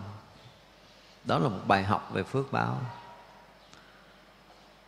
Thật ra chúng ta thấy là đời mình, một lần mình mở tâm mình làm một cái việc gì một cách tận tụy, chúng ta chăm lo thử một người đó chúng tôi nói hoài ở trong chúng này nè, tăng đi nên tập thử đi. Đó, ví dụ chúng mình có người già, người lớn tuổi, mình thử một ngày quan tâm tới người đó thôi người đó đi đứng, ví dụ họ đứng dậy họ thấy họ yếu mình, có mặt bên để mình đỡ. Họ đi dấp mình, có thể mình đỡ được họ, hoặc là họ cần một cái việc gì. Họ uống một ly nước, và cái chuyện đứng dậy của họ rất là mệt nhọc, thì mình mời họ ngồi để mình đem ly nước lại để cho họ uống thử ngày đi. Chúng ta thử tập một ngày. Tức là ngày đó chúng ta mở cái tâm của mình ra, mở cái phước của mình ra. Chứ không phải là chúng ta bị mất công đúng không? Tại vì mình đang tu mà. Nếu mà lo người khác cái tâm mình nó động đi không có định được. Mình đang niệm phật mà bây giờ lo người khác cái nó động không có niệm phật được. Mình không có thiền định được. Thôi đi chuyện ai nấy lo. Cái vậy đó. Chứ mình, mình gán mình lo mình tu mình mình thôi chuyện thiên hạ thiên hạ biết. Và rồi lần nó bị chay cái tâm à. Nhìn thấy hai người sống chung ba người sống chung trong tập thể mà gần như là người kia có chết đi nữa, mình cũng không hay đợi chết rồi chôn. Ngáp ngáp cũng kệ nó. Cái kiểu nó như vậy. Và cuộc sống này chúng ta coi đi, mình đang trong tình trạng đó, có đúng không? Có bao giờ mình quan tâm quan tâm người chung quanh mình lần nào chưa? Chưa bây giờ chúng ta thấy. Ví dụ như bữa nay nha, bữa sáng mình đi lên cầu thang để đi vô cái buổi giảng thôi. Huynh đệ mình bình thường thấy đi khỏe lắm. Bữa nay dịnh cái cái cái, cái tay dượng bước lên từng bước nặng nhọc. Có bao giờ chúng ta quan tâm không? Bởi sao bữa nay tôi thấy chị bước yếu quá sức khỏe chị như thế nào? Chị cần cái gì không? Ví dụ vậy. Chúng ta cũng chưa từng làm việc này. Và đó là những cái gì để thể hiện cái tâm tàm của mình thể hiện cái lòng tri ân và báo ơn của mình. Đây là cái bài học chúng tôi nói là rất là thiết thực. Và chúng tôi nghĩ rằng cả nhân loại chúng sanh nên học thuộc học kỹ cái bài này và bắt đầu thực tập lại từ đầu, từng bước rất là nhỏ. Chưa nói tới cái chuyện là mình à, sẽ phụng sự kẻ thù của mình. Mình chưa nói tới cái chuyện lớn nhưng ít lắm, là từ những người gần gũi, thân cận của mình cũng sẽ được lợi khi mà mình có sống bên cạnh họ. Họ không được lợi cái này, phải được lợi cái kia. Đó là mục tiêu sống của mình. Nếu như mình có cái tâm tàm kể từ giờ phút này là cái tâm gọi là gì? Đền trả cái ơn nghĩa đó. Không phải là phụng sự mà gọi là đền trả cái ơn tình. Bây giờ bắt đầu được phát khởi nơi tâm của mình và bắt đầu mình làm. Làm một cách tận tâm, tận lực. Làm bằng tất cả khả năng của mình, bằng tất cả những tâm thành và sự cung kính của mình. Nếu như thiếu cái sự thành tâm và cung kính thì đừng có làm mình gót một ly nước, đưa một người bạn mình mà thiếu cái sự thành tâm cung kính, đừng có thèm gót. Cho mình ngồi đó mình nói đi. Đúng không? Mình phải tập làm vậy thử đi. Thì đời sống chúng ta sẽ đẹp đẹp lắm. Từ trong nhà ra tới ngoài đường. Phải nói như vậy, đi đâu chúng ta cũng thấy cuộc đời này đầy ý nghĩa. Tại vì đi đâu cũng gặp người ân của mình hết á.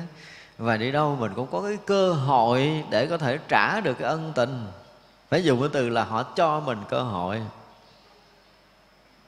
Chứ không phải là họ tới họ đòi hoặc bắt mình phải trả, mà là có cơ hội.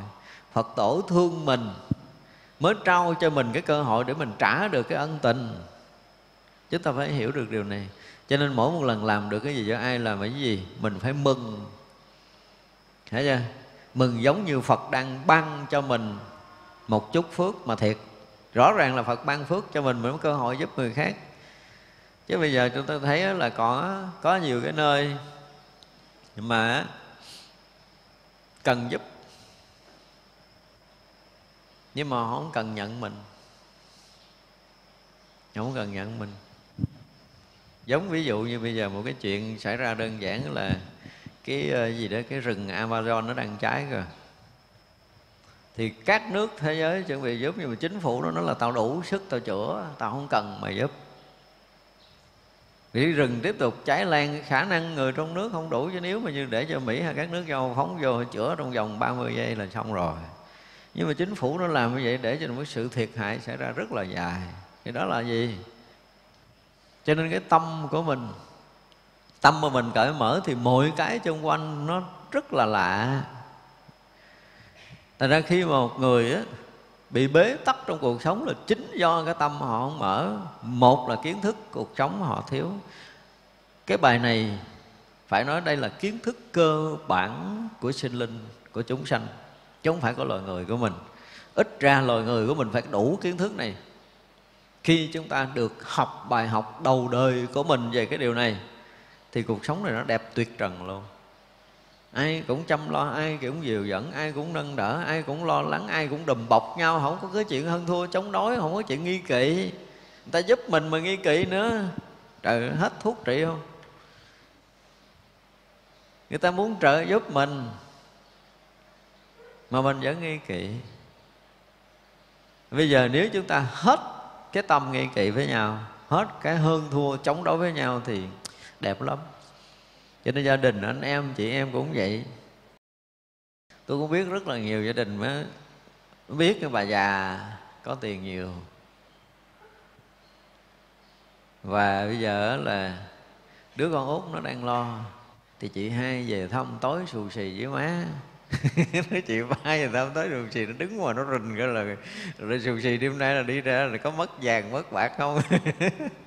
Nó nghi kỵ vậy đó dòng họ quyến thuộc, anh em nó cũng vậy chứ đừng nói là người ngoài. Thì vậy để làm cái gì? Để thỏa mãn cái tham tâm, cái lợi ích riêng tư của mình chứ được cái gì đâu.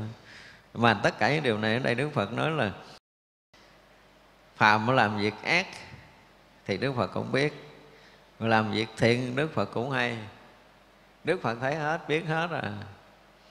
Thì nếu như chúng ta muốn mà thay đổi được cái đời sống tâm linh của mình bây giờ mình nói đang nói tới cái đời sống tâm linh mình đi. Muốn tiến bộ thật sự, muốn công phu, có sự thăng tiến, muốn cải thiện được đời sống của mình tốt hơn, thì những cái kiến thức cơ bản này mình phải có.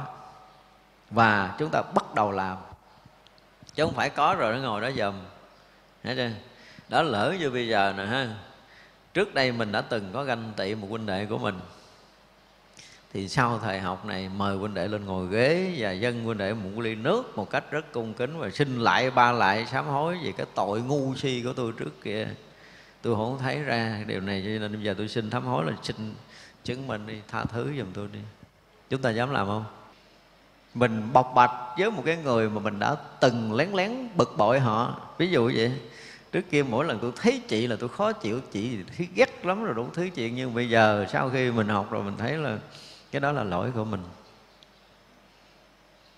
Mình sẵn sàng xin bày tỏ cái lòng ăn năn, sám hối của mình trước người đó. Được không? Mấy người được đâu đưa tay lên thử coi. Đâu có dám rồi có mấy que à? Nguyên một hội mấy trăm người mà đưa lên chưa được bốn cái tay nữa thì thua rồi. Có nghĩa là vẫn còn muốn bảo thủ, muốn gìn giữ cái phiền hận ở nơi tâm. Tức là gì? Muốn đóng bích mình, không muốn mở toan mình ra. Khi mà mình bày tỏ một cái điều không tốt của mình với một người nào đó, tức là gì? Chúng ta mở cửa mình. Thì mình mới hy vọng là mình được hết những cái vướng mắc ở nơi tâm. Chứ còn chúng ta không dám bày tỏ. Thì đương nhiên là mình bảo thủ. Mà bảo thủ thì sao? Sao tôi tu hoài mà cái nghiệp tu nặng ghê vậy nha nặng là tại ai ạ? À? phật cho mình nữa hay sao? Cho nên chúng ta phải thực tế. Phải nói như vậy, nếu là người tu mà không thực tế được, người tu không tiến bộ. Mỗi lần mình sai, ví dụ nha, mình có sai một cái điều gì đó mà lúc mà mình không có phát hiện ra thì thôi, tại vì mình chưa có đủ trí để mình thấy cái sai của mình thì điều đó chấp nhận. Nhưng mà đến lúc mình đủ trí, mình thấy mình sai rồi thì sao? Là phải thật lòng ăn năn sám hối. Ít ra thì đêm đó mình phải đốt nhang mình quỳ cho hết cây nhang trước bằng phật để mình bày cái tội mình ra trước phật. Mình mình thôi cũng được đóng cửa đừng cho ai nghe cũng được. Nhưng mà ít lắm là cái tâm thành sám hối của mình. Mình phải có chứ không phải là đợi, đợi tới 29, 30 đi tụng thời kinh sám hối. Trời ơi. Cái thời đó là cái thời khóa chứ không phải là cái tâm thành sám hối. Tâm thành sám hối là chuyện khác còn nếu ngon hơn nữa, đúng không? Thì mình sẽ đi gặp cái người mà mình gây tội. Và xin cho tôi một buổi buổi hẹn đi. Cho chuyện này cũng quan trọng lắm. Chị giúp dùm anh giúp dùm tôi. Và khi gặp người đó thì mình sẽ mời họ ngồi chỗ trịnh trọng. Mình sẽ dâng một ly trà một cách rất là thành kính cho mình, bày tỏ cái tâm của mình. Là tôi thật lòng muốn xin lỗi. Anh xin lỗi chị trước đây tôi dạy dột quá, tôi có nghi kỵ anh móc túi tôi. Đúng không? Chút vậy thôi, mình cũng nên sám hối đi. Thì như vậy là mình mới bắt đầu cởi mở cái tâm của mình. Chứ còn người tu của mình thiệt á, không mở tâm, không tiến bộ. Thật sự từ ngày này tới tháng kia mà chưa bao giờ ngồi lại để coi mình phạm cái lỗi gì mà mình ì ạch, mình không tiến bộ. Ít lắm nếu mình không có soi chiếu, không có thấy được những cái sai lầm này của mình, thì muôn đời cái việc tu mình không có tiến được đâu hết trơn phải nói một cách rất rõ ràng như vậy. Còn bây giờ mình mở tâm ra rồi thì tất cả chúng sanh khắp pháp giới mười phương này là thân bằng quyến thuộc của mình. Sướng không? Đi đâu mình cũng gặp người ơn ở đâu mình cũng ở chung với người ân nhân của mình. Hay nói khác hơn là, ở đâu mình cũng ở chung với cha mẹ của mình hết đó người nào cũng là người cha, người mẹ, người đầy tình thương với mình và mình cũng đầy tình thương và lòng tôn kính với họ. Thì sống ở đâu không sướng. Là luôn luôn là lo lắng, là đùm bọc, là chở che, dìu dẫn, sách tấn với nhau. Thì sống đâu chúng ta cũng có thể tiến bộ được hết đó không có môi trường nào là xấu với chính mình, không có hoàn cảnh nào là bế tắc với mình. Tại người ân lúc nào cũng lo lắng bảo bọc mình. Và ngược lại, mình cũng luôn luôn lo lắng bảo bọc cho mọi người và cả hai cái này nó gặp nhau thì gần như không có ai trong cuộc sống này mà không thành công cả. Đây là cái cách để tiến hóa. Nếu nhân loại không sử dụng cái này thì không bao giờ tiến hóa được. Vẫn còn làm bế tắc nhau, vẫn còn gài bẫy nhau để sụp bẫy, vẫn còn phá đổ với nhau, vẫn còn hận thù với nhau. Trong khi có những người rất là nhiệt tình để làm cho cuộc sống này đẹp hơn thì lại là bước một bước một trước này ở đằng sau này người ta móc một hố. Và cuộc sống này luôn là như vậy. Họ thấy có một cái người mà hay hơn mình, không chấp nhận. Nhiều khi vỗ tay nhưng mà sao, trong lòng lầm bầm, đúng không? Tại người kia vỗ tay, tao vỗ tay cho mày, cho tao không chấp nhận mày đâu. Đúng không? không chấp nhận nhiều người vỗ tay, mình không vỗ tay thấy nó kỳ. Chứ còn trong lòng là rõ ràng không chấp nhận, không chấp nhận cái hay, cái đẹp, cái vốn có trong cuộc sống này. Mà cái này là cái gì? Lòng ganh tị, ích kỷ của mình. Nhưng mình có bao giờ có một lần mình ganh tị với một người bạn mình mặc chiếc áo đẹp? Bữa nay mình thấy lỗi, mình dám sám hối không? Nếu gì sám hối gì sẽ có cái áo đẹp mặc. đúng không? Nhưng mình không sám hối thì coi như mình muôn đời không bao giờ có. Những cái mà thiên hạ có thì mình lại nghĩ không có tốt về người ta. Nó gạt người ta cho nó mới có tiền, chứ nó làm đàng hoàng với tôi dễ gì có. Tôi là cài sâu cốt bẩm, tôi thật thà, tôi không có khôn lanh, không có lẻo lự, tôi không có nịnh nọt, tôi không có đỡ bở tôi không có cúi lòn. Cho nên rồi là à, tôi khó khăn. Còn nó thì nó làm như vậy được, cho nên nó mới khá giả chứ bây giờ mình thấy người ta khá giả là do phước người ta đâu. Phước không phải một đời, phước người tu nhiều đời, nhiều kiếp, đời này nó mới có cơm ăn áo mặc. Mình thấy sâu hơn như vậy nữa đi. Đâu phải dễ gì có được một ngôi nhà để ở đàng hoàng. Thì vậy là mình cũng cực cả đời mà ngôi nhà mình không bằng cái nhà của nó. Thì cái này phải nói tới cái chuyện gì dài lâu à?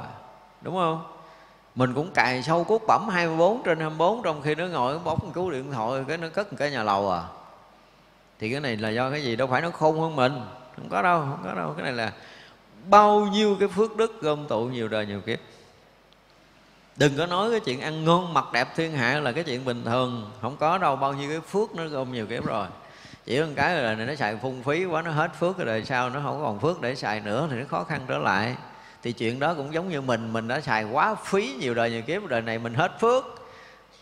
Thì bây giờ phải bòn lại đi, chứ đừng có ganh tị người ta hơn mình có nghĩa là gì? Ta hơn nhiều mặt. Có những cái họ hơn mình mình không thấy ra. Đừng có bao giờ ranh tị. Họ nói một tiếng, nhiều người tin, mình nói hoài không ai tin. Lý do gì? Nhiều đời mình không có nói thiệt. Cho nên bây giờ mình nói không ai tin thì tại sao không sám hối? Mà còn ganh tị nó nó nói ngọt, nó dụ dỗ được nhiều người. Tôi nói tôi nói thiệt, không đứa nào tin. Có phải vậy không? Chưa chắc là chưa chắc anh nói thiệt tại vì anh đã nói dối nhiều kiếp quá rồi bây giờ anh nói không ai tin đúng không? Trong khi nhân quả người ta nhiều đời người ta đã nói thiệt. Thành ra bây giờ người ta nói nói chơi chơi nói ngu ngu vậy chứ cũng có người tin. Đấy là chuyện của nhân quả. Nhưng mà có bao giờ chúng ta nghiệm lại điều này? Cho nên học nhân quả học nghiệp báo học tất cả mọi cái ấy, thì chúng ta phải học cho được. Ở hiện tại ở quá khứ và ở vị lai học cho thuộc cái bài này nếu không, chúng ta gần như bị bế tắc cả đời. Học ra rồi nhiều cái mà mình thấy là đúng là phải theo được đạo Phật sớm không nó đỡ biết mấy đó lúc mà mình à, mình hay nó được một cái chuyện mà Đức Phật nói là những cái chuyện đó nó làm mình bế tắc cả bao nhiêu kiếp à. Nhưng mà cái duyên phước của mình cho tới giờ phút này mình mới được nghe phải nói như vậy chứ không phải đơn giản đâu. Cái bế tắc của mình có nhiều khi đã cả ngàn kiếp chứ phước duyên mình chưa đủ để được nghe lời đúng. Chứ không phải chân lý dễ nghe đâu. Thậm chí là mình đã nghe chân lý rồi mà mình vẫn không chấp nhận nữa. Đó là lý do lý do gì?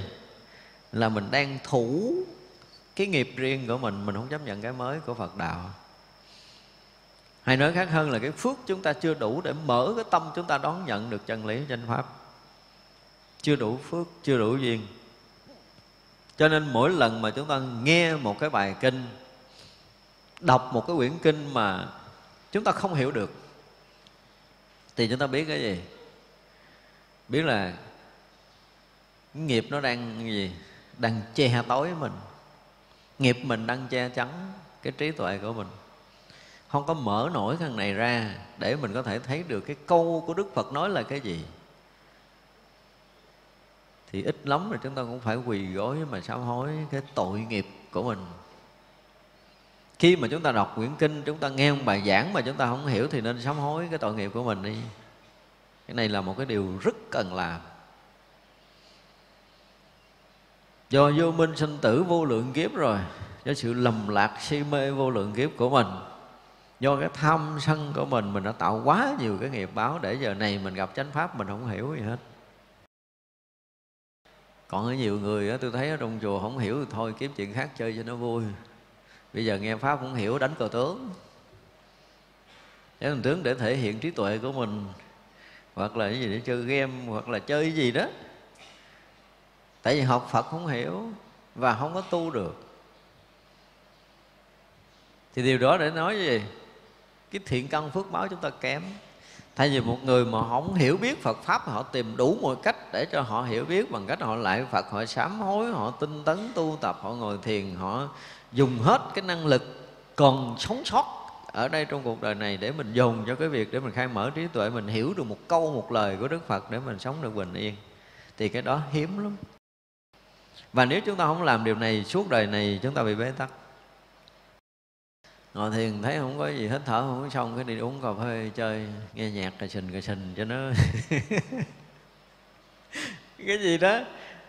Mình đi chạy kiếm cái chỗ du lịch, chạy kiếm cảnh để chơi, chạy kiếm môi trường để thay đổi, có nghĩa là mình chạy trốn sự thật.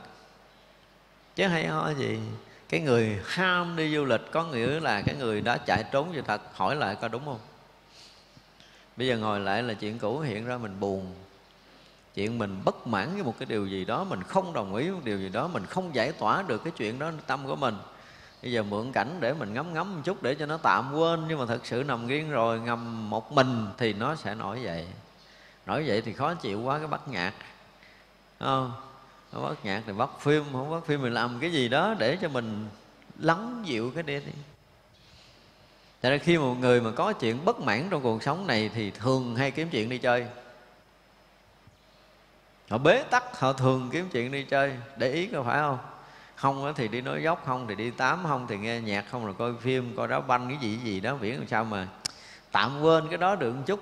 Nhưng mà thực sự nó là cái hình thức bên ngoài để tạm quên, chứ còn đâu có giải quyết được vấn đề. Du lịch thì vừa hao phí tiền của, vừa mất thời gian cuộc sống mình, mà vừa đóng bít cái cửa tâm của mình. Chứ nếu như mình yên tĩnh, mình ngồi lại thì có cách rồi đó và cuộc sống mình sẽ thay đổi tốt hơn. Và bảo đảm mình sẽ thay đổi tốt hơn nếu mình ngồi yên. Chứ mình đừng có mượn cảnh duyên để phủ mờ tâm trí của mình. Có nhiều người nhất là thanh niên một có là gì? Bị chuyện buồn thì một là nhậu. Những người mà trí thức một chút rồi uống cà phê uống trà uống rượu. À, uống rượu là bắt đầu thấm rồi đó. Rớt vô tứ đổ tường là rượu không thì cờ bạc chưa? không thì chơi bời.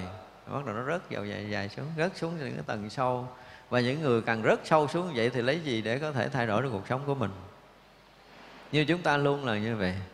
Cho nên nếu như mà mình, như hồi nãy chúng tôi nói là mình đủ cái trí để mình thấy ra cái sai của mình, thì lúc đó nên mừng để thấy nó là dọn một mâm lại để cúng dường liền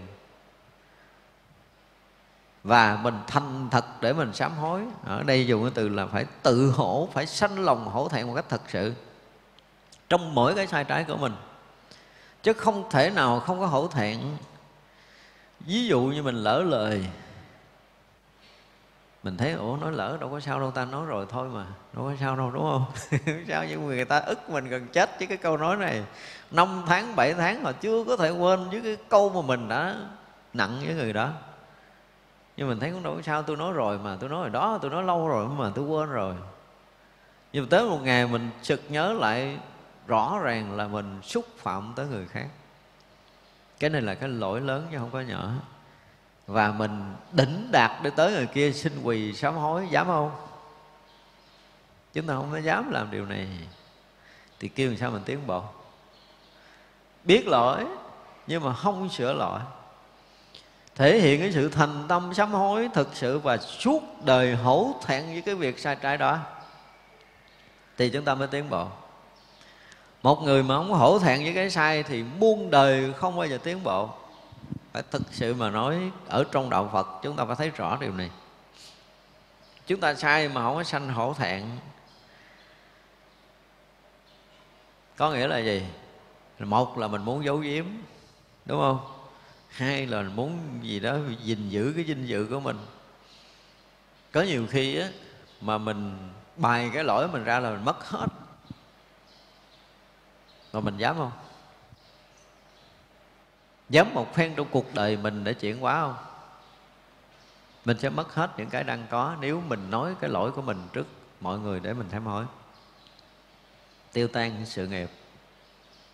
Nhưng mà sự nghiệp là một đời mà sự nghiệp trí tuệ là muôn đời, bây giờ muốn đổi cái gì? Nhưng chúng ta đâu có dám đâu. Không bao giờ dám. Thành ra cái sai trái lẫn ở nơi tâm của mình. Và được mình giấu, được mình che, được mình giữ. Mà mình phạm một điều mình không có hối lỗi hả?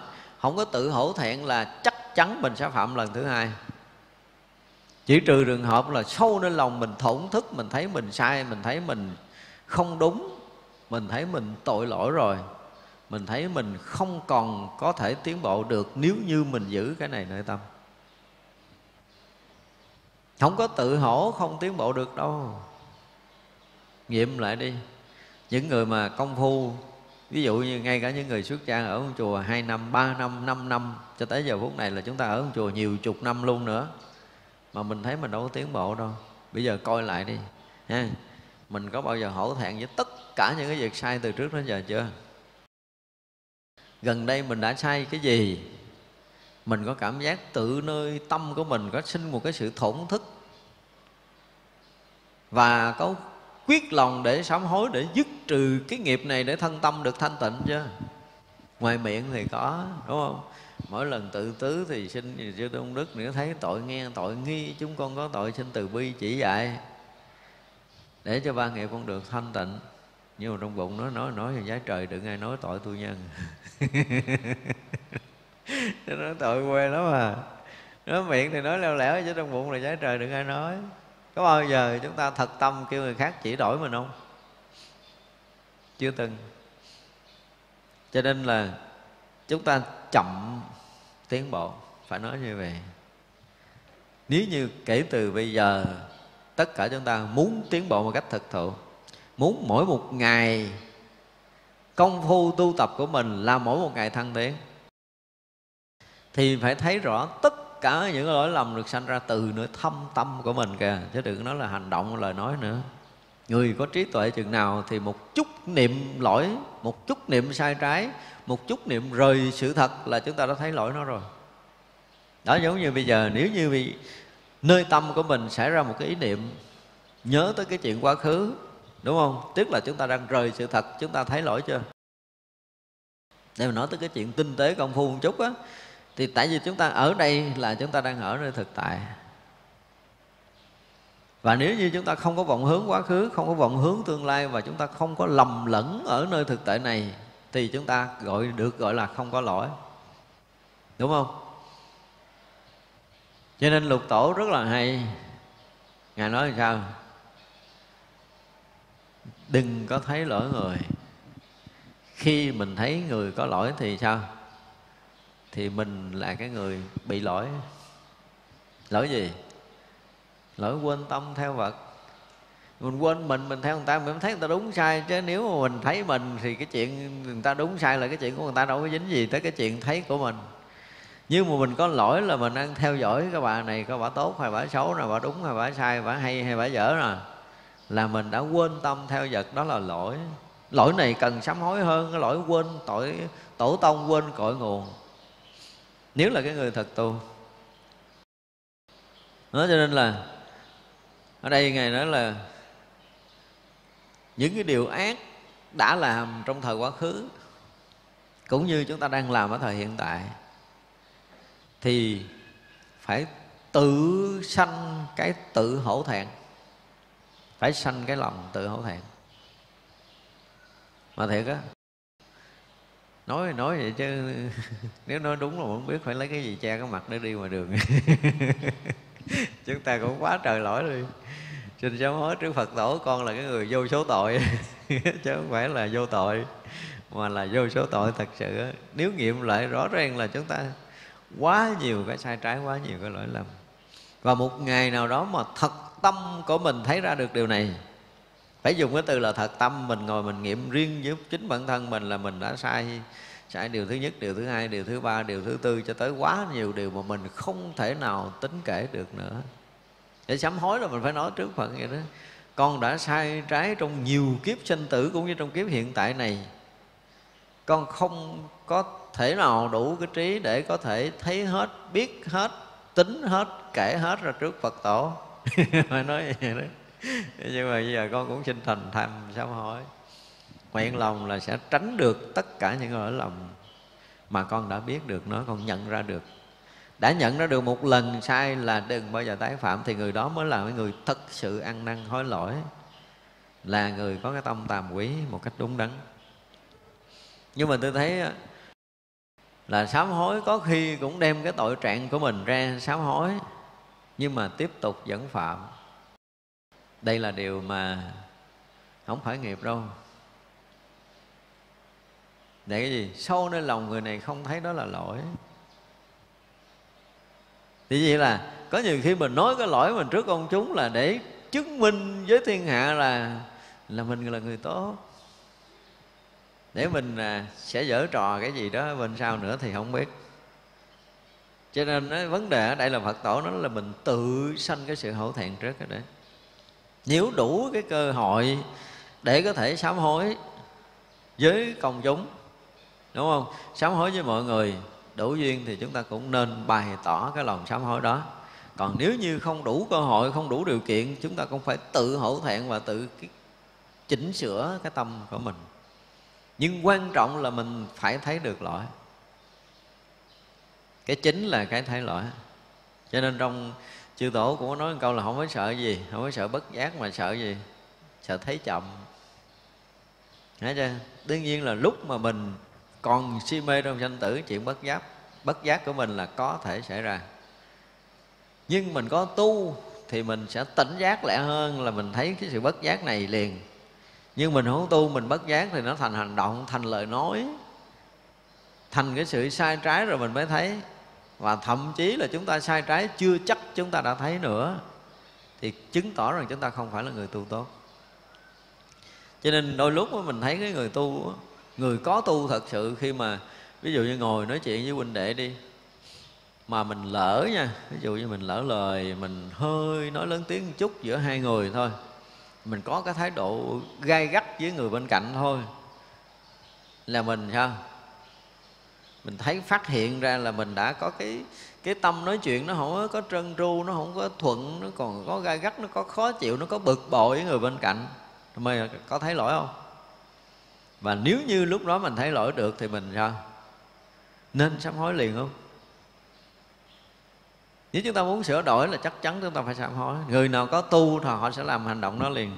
À, xin lỗi huynh hoặc là xin lỗi đệ gì đó. Tôi nãy lỡ cái câu này nè. Tôi thấy nó, nó không được vui với huynh đệ. Đúng không? Thì bây giờ xin thứ lỗi cho tôi tôi xin chừa là từ đây sau là tôi sẽ không bao giờ nói cái kiểu đó nữa. Ví dụ gì đó là cái khéo tu của mình. Nhưng mà chúng ta ít khi nào được như vậy lắm.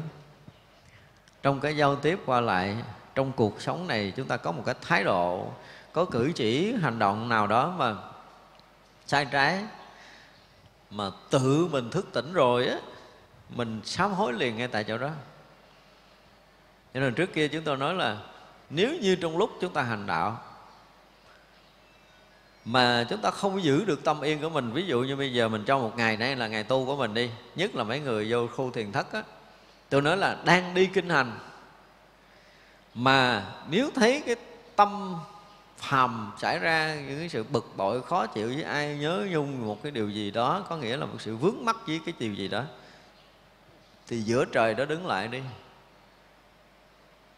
Và mình tự hổ thẹn với ý niệm xấu này của mình thậm chí là mình sụm quỳ xuống ngay tại chỗ để mình sám hối là mình là cái người đang đặt mình trong cái tình huống tu tập. Vậy mà mình còn phải phóng khởi những cái tâm phàm để cho khiến cho mình phải bị động cái tâm tâm mình không được thanh tịnh trong lúc đang công phu. Thì người đó mới là cái người thật tu, không có cần ai chứng minh. Giữa trời không ai biết, nhưng mà mình vừa có một cái sai trái là mình biết sám hối thì không thể nào không tiến bộ công phu được. Nhưng chúng ta chưa làm điều này. Chưa có tự hổ thẹn ăn năn lỗi lầm của mình. Và người tu rất cần cái điều này. Cho nên đây là một cái phẩm rất là hay.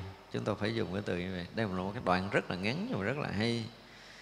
Những cái sự dối trá của mình, sân si, phiền não, tổn hại lẫn nhau.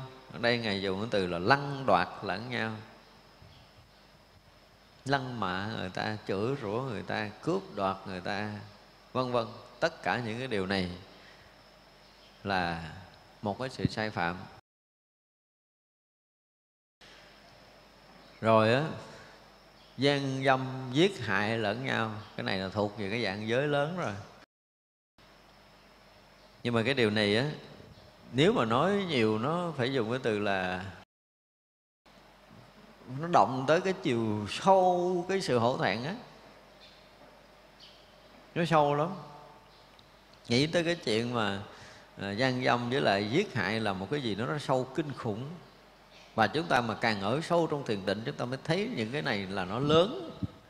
Ra Đức Phật đưa ra bốn cái đại giới là, là, là đúng chứ không có sai Mình tưởng tượng nha. Bây giờ trong cái xã hội này mình thấy đứa con Nó đánh cha thôi. Thì với những người bình thường thì họ không thấy gì. Nhưng mà với những người đạo, đạo đức thì họ sẽ thấy là cái gì? Gần như đạo đức cái người con này mất rồi. Đây là chuyện lớn của thế hệ của thời đại mà có rất là nhiều đứa con nó xúc phạm cha mẹ mình. Chuyện này là chuyện rất là quan tâm của xã hội. Và được rất là nhiều người đạo đức lên tiếng đúng không? Nhưng bây giờ mình tưởng tượng con nó giết cha cái này là chuyện lớn cỡ nào. Quá lớn đi, đúng không? Chuyện kinh khủng. Nhưng bây giờ nếu mình giết một chúng sanh mà chúng sanh đó là cha của mình mới đầu thai thành loại đó thì chúng ta nghĩ thế nào? Chuyện không có nhỏ. Sát hại đúng với cái người thân của mình, người đó trong đời trước đã từng nuôi nấng mình và làm những cái chuyện sai trái. Đời này bị đọa làm súc sanh sanh trong nhà của mình. Ví dụ sanh làm chó, sanh làm heo, bây giờ chúng ta cắt cổ con chó nó ăn thì sao? Giết đúng ông cha đời trước của mình. Sinh tử mình đâu có biết được đâu. Và chúng ta đã thường làm những cái điều này.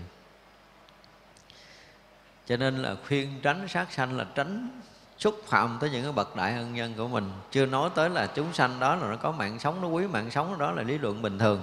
Nhưng ở đây mình đang lý luận theo cái kiểu cái kiểu sinh tử luân hồi nhiều kiếp là sẽ gặp lại cha mẹ của mình trong đời này bằng nhiều hình thức khác nhau. Chưa chắc cha mẹ mình đời trước trở lại làm người đời này. Họ gì nuôi mình? Ví dụ như trong cái đợt mình bệnh trong cái kỳ đó.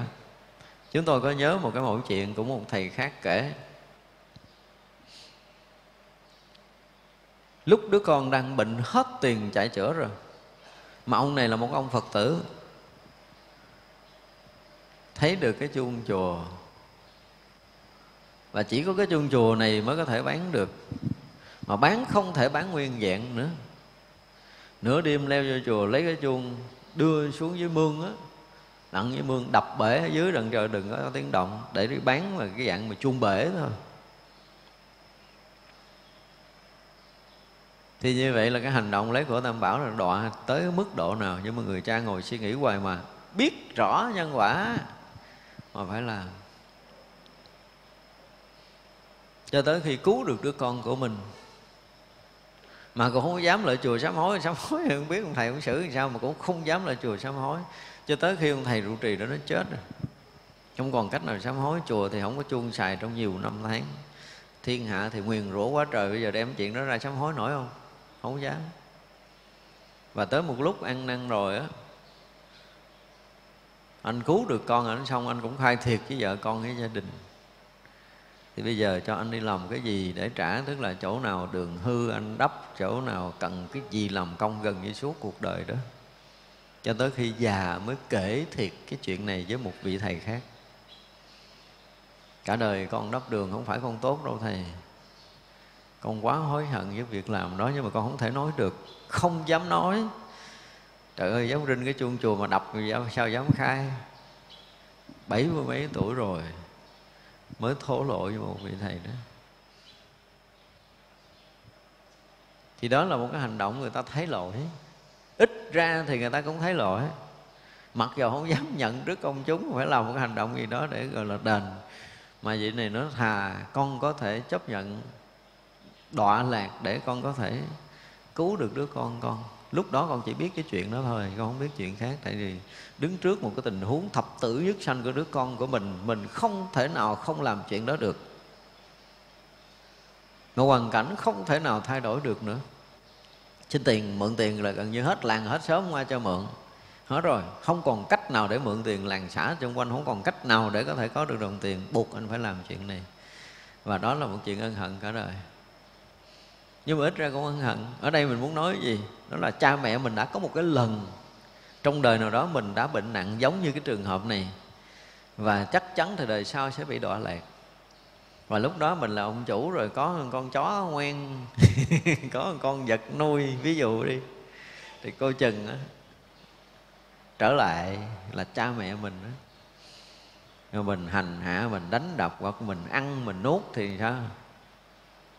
Đó, chuyện không có nhỏ. Cái nhìn của phật tổ nó thấy rõ điều này, cho nên thấy rõ là chuyện này không có nhỏ.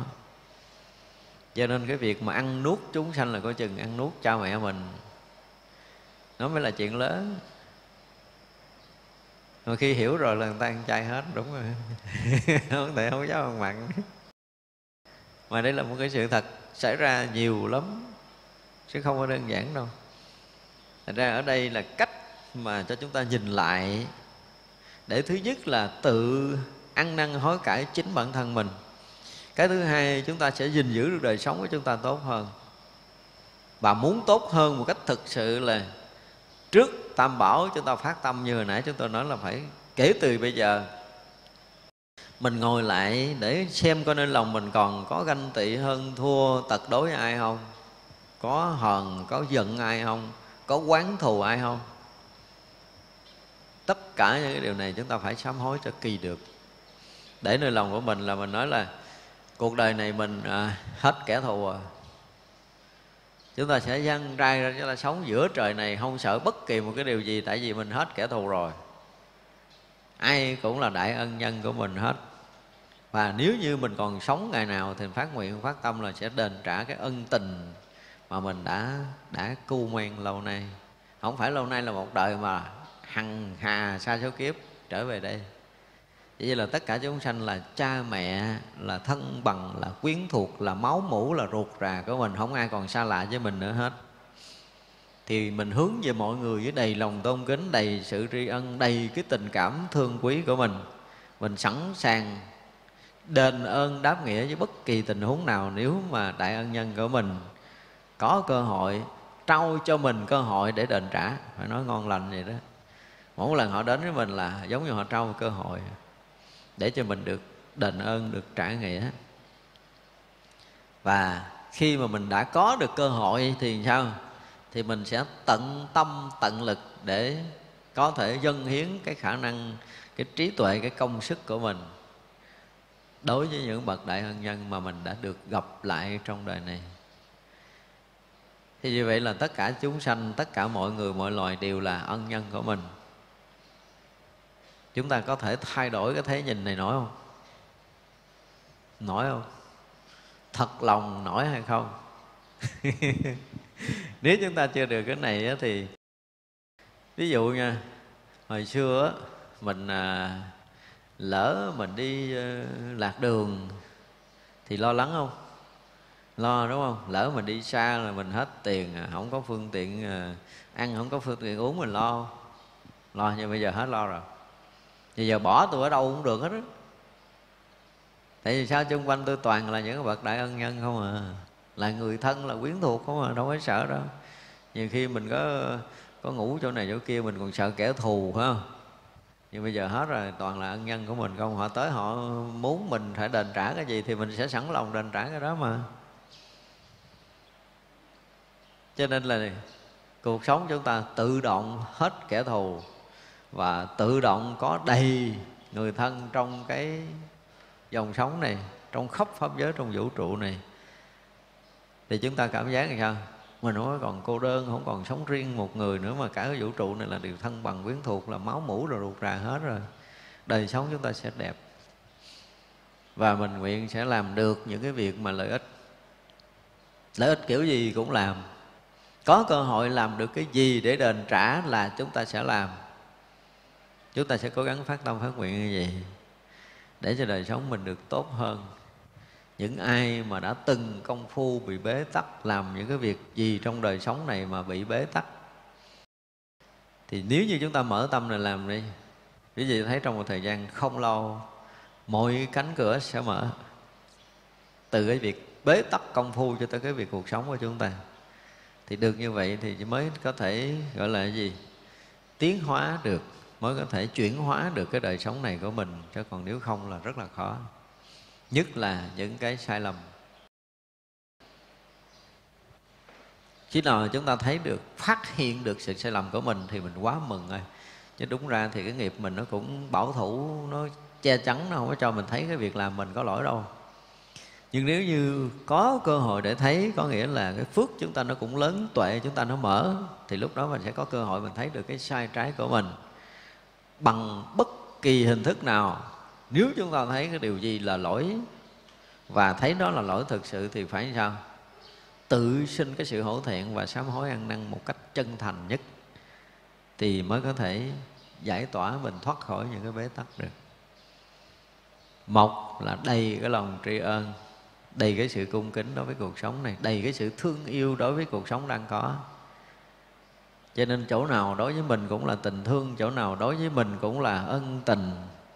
Không còn cái việc gì trong cuộc sống này xảy ra, không phải là tình thương, không phải là ân tình đối với mình. Thì quý vị sẽ thấy được hạnh phúc nó đầy ngập ở trong thế gian này liền. Đâu cần về niết bạn chi ở đây cũng thấy hạnh phúc rồi. Không? nếu mà chúng ta thay đổi được cái nhìn này, thì cái đời sống tu tập chúng ta sẽ tiến bộ rất là nhanh. Và đi đâu, ở đâu, sống kiểu gì mình cũng cảm giác an lạc tại vì ở đâu chỗ nào cũng là tình thương, ở đâu chỗ nào cũng là ân tình. Không có chỗ nào không phải là tình thương hết. Và nếu như mà mình chưa phát nguyện được như vậy, quý vị cũng phải dành hết thời gian riêng tư nhất của mình, một đêm hai đêm để chúng ta nghiệm lại chuyện này. Và khi chúng ta nghiệm ra, khi chúng ta hiểu đúng thì quý vị nên bắt đầu phát tâm, phát nguyện và bắt đầu bắt đầu chuyển hóa. Khi thấy đúng là rõ ràng mình sẽ chuyển hóa. Và mong là tất cả chúng ta đều là những người kể từ bây giờ, sống với đầy đủ cái cái lòng thương, kính đối với cái sự sống này, đối với tất cả chúng sanh muôn loài, và sẵn lòng đền ơn trả nghĩa một cách đầy đủ nhất. Không còn bị thiếu nữa, thì chúng ta mới có thể ra khỏi cõi này. Còn thiếu bất kỳ cái món nợ nào trong trần gian này chúng ta không ra được. Thì rất mong là mọi người sẽ đền trả đủ cái ân tình mà chúng ta đã thọ nhận lâu nay. Bây giờ chúng ta nghỉ ha.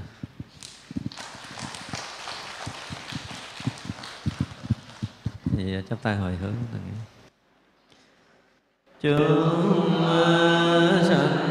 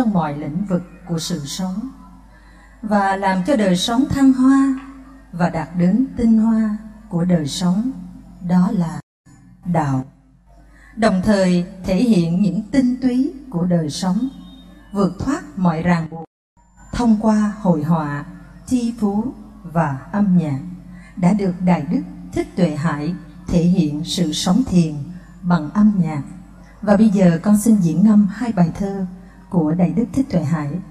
Xin mời quý vị cùng nghe. Bài thứ nhất, Tạ ơn.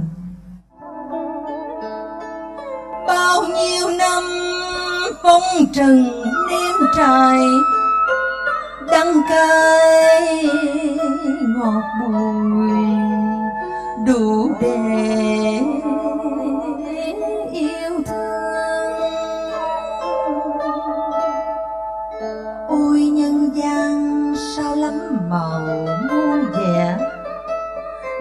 đẹp làm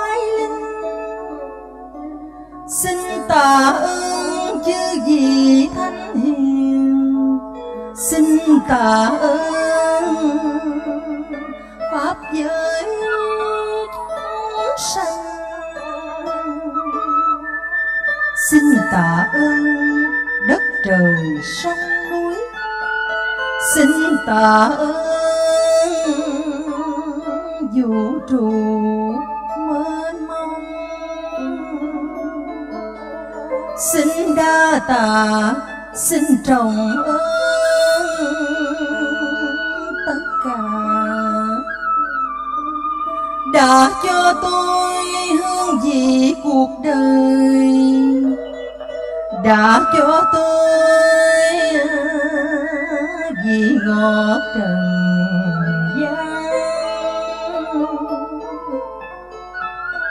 Đã cho tôi niềm đau nhân thế. Đã cho tôi trí huệ tuyệt vời. Để bây giờ giờ đạo đời tỏ rằng anh đạo vàng tỏa khắp nhân gian. Ôi, cực lạc, ôi, niết bàn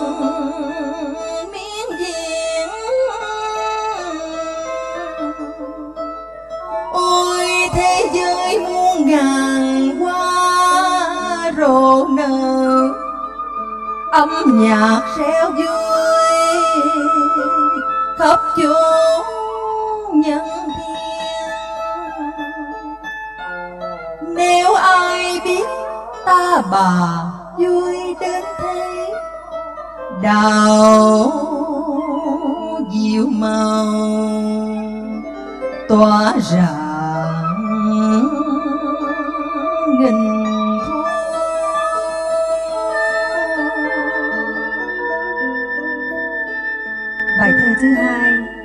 huyện như như xin mời quý vị cùng thưởng thức.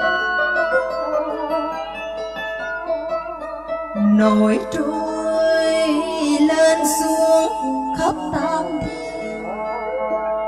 Phù sinh bao kiếp thân trầm mài. Chợt thấu mênh mông, đào diệu màu vô minh, thực chất minh tuệ giác. Có không? Không có. Hư bày hiện. Phải trái thị phi, bông mây bay. Tam thiên chỉ thoảng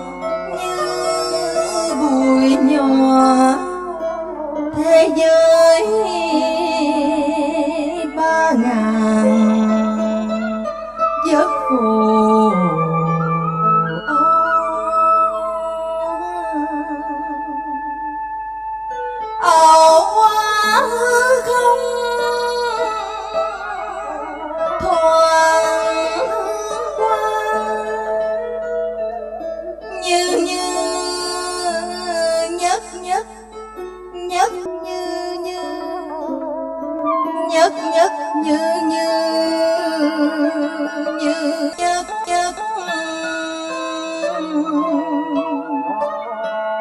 như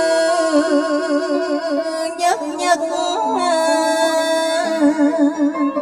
Ta bà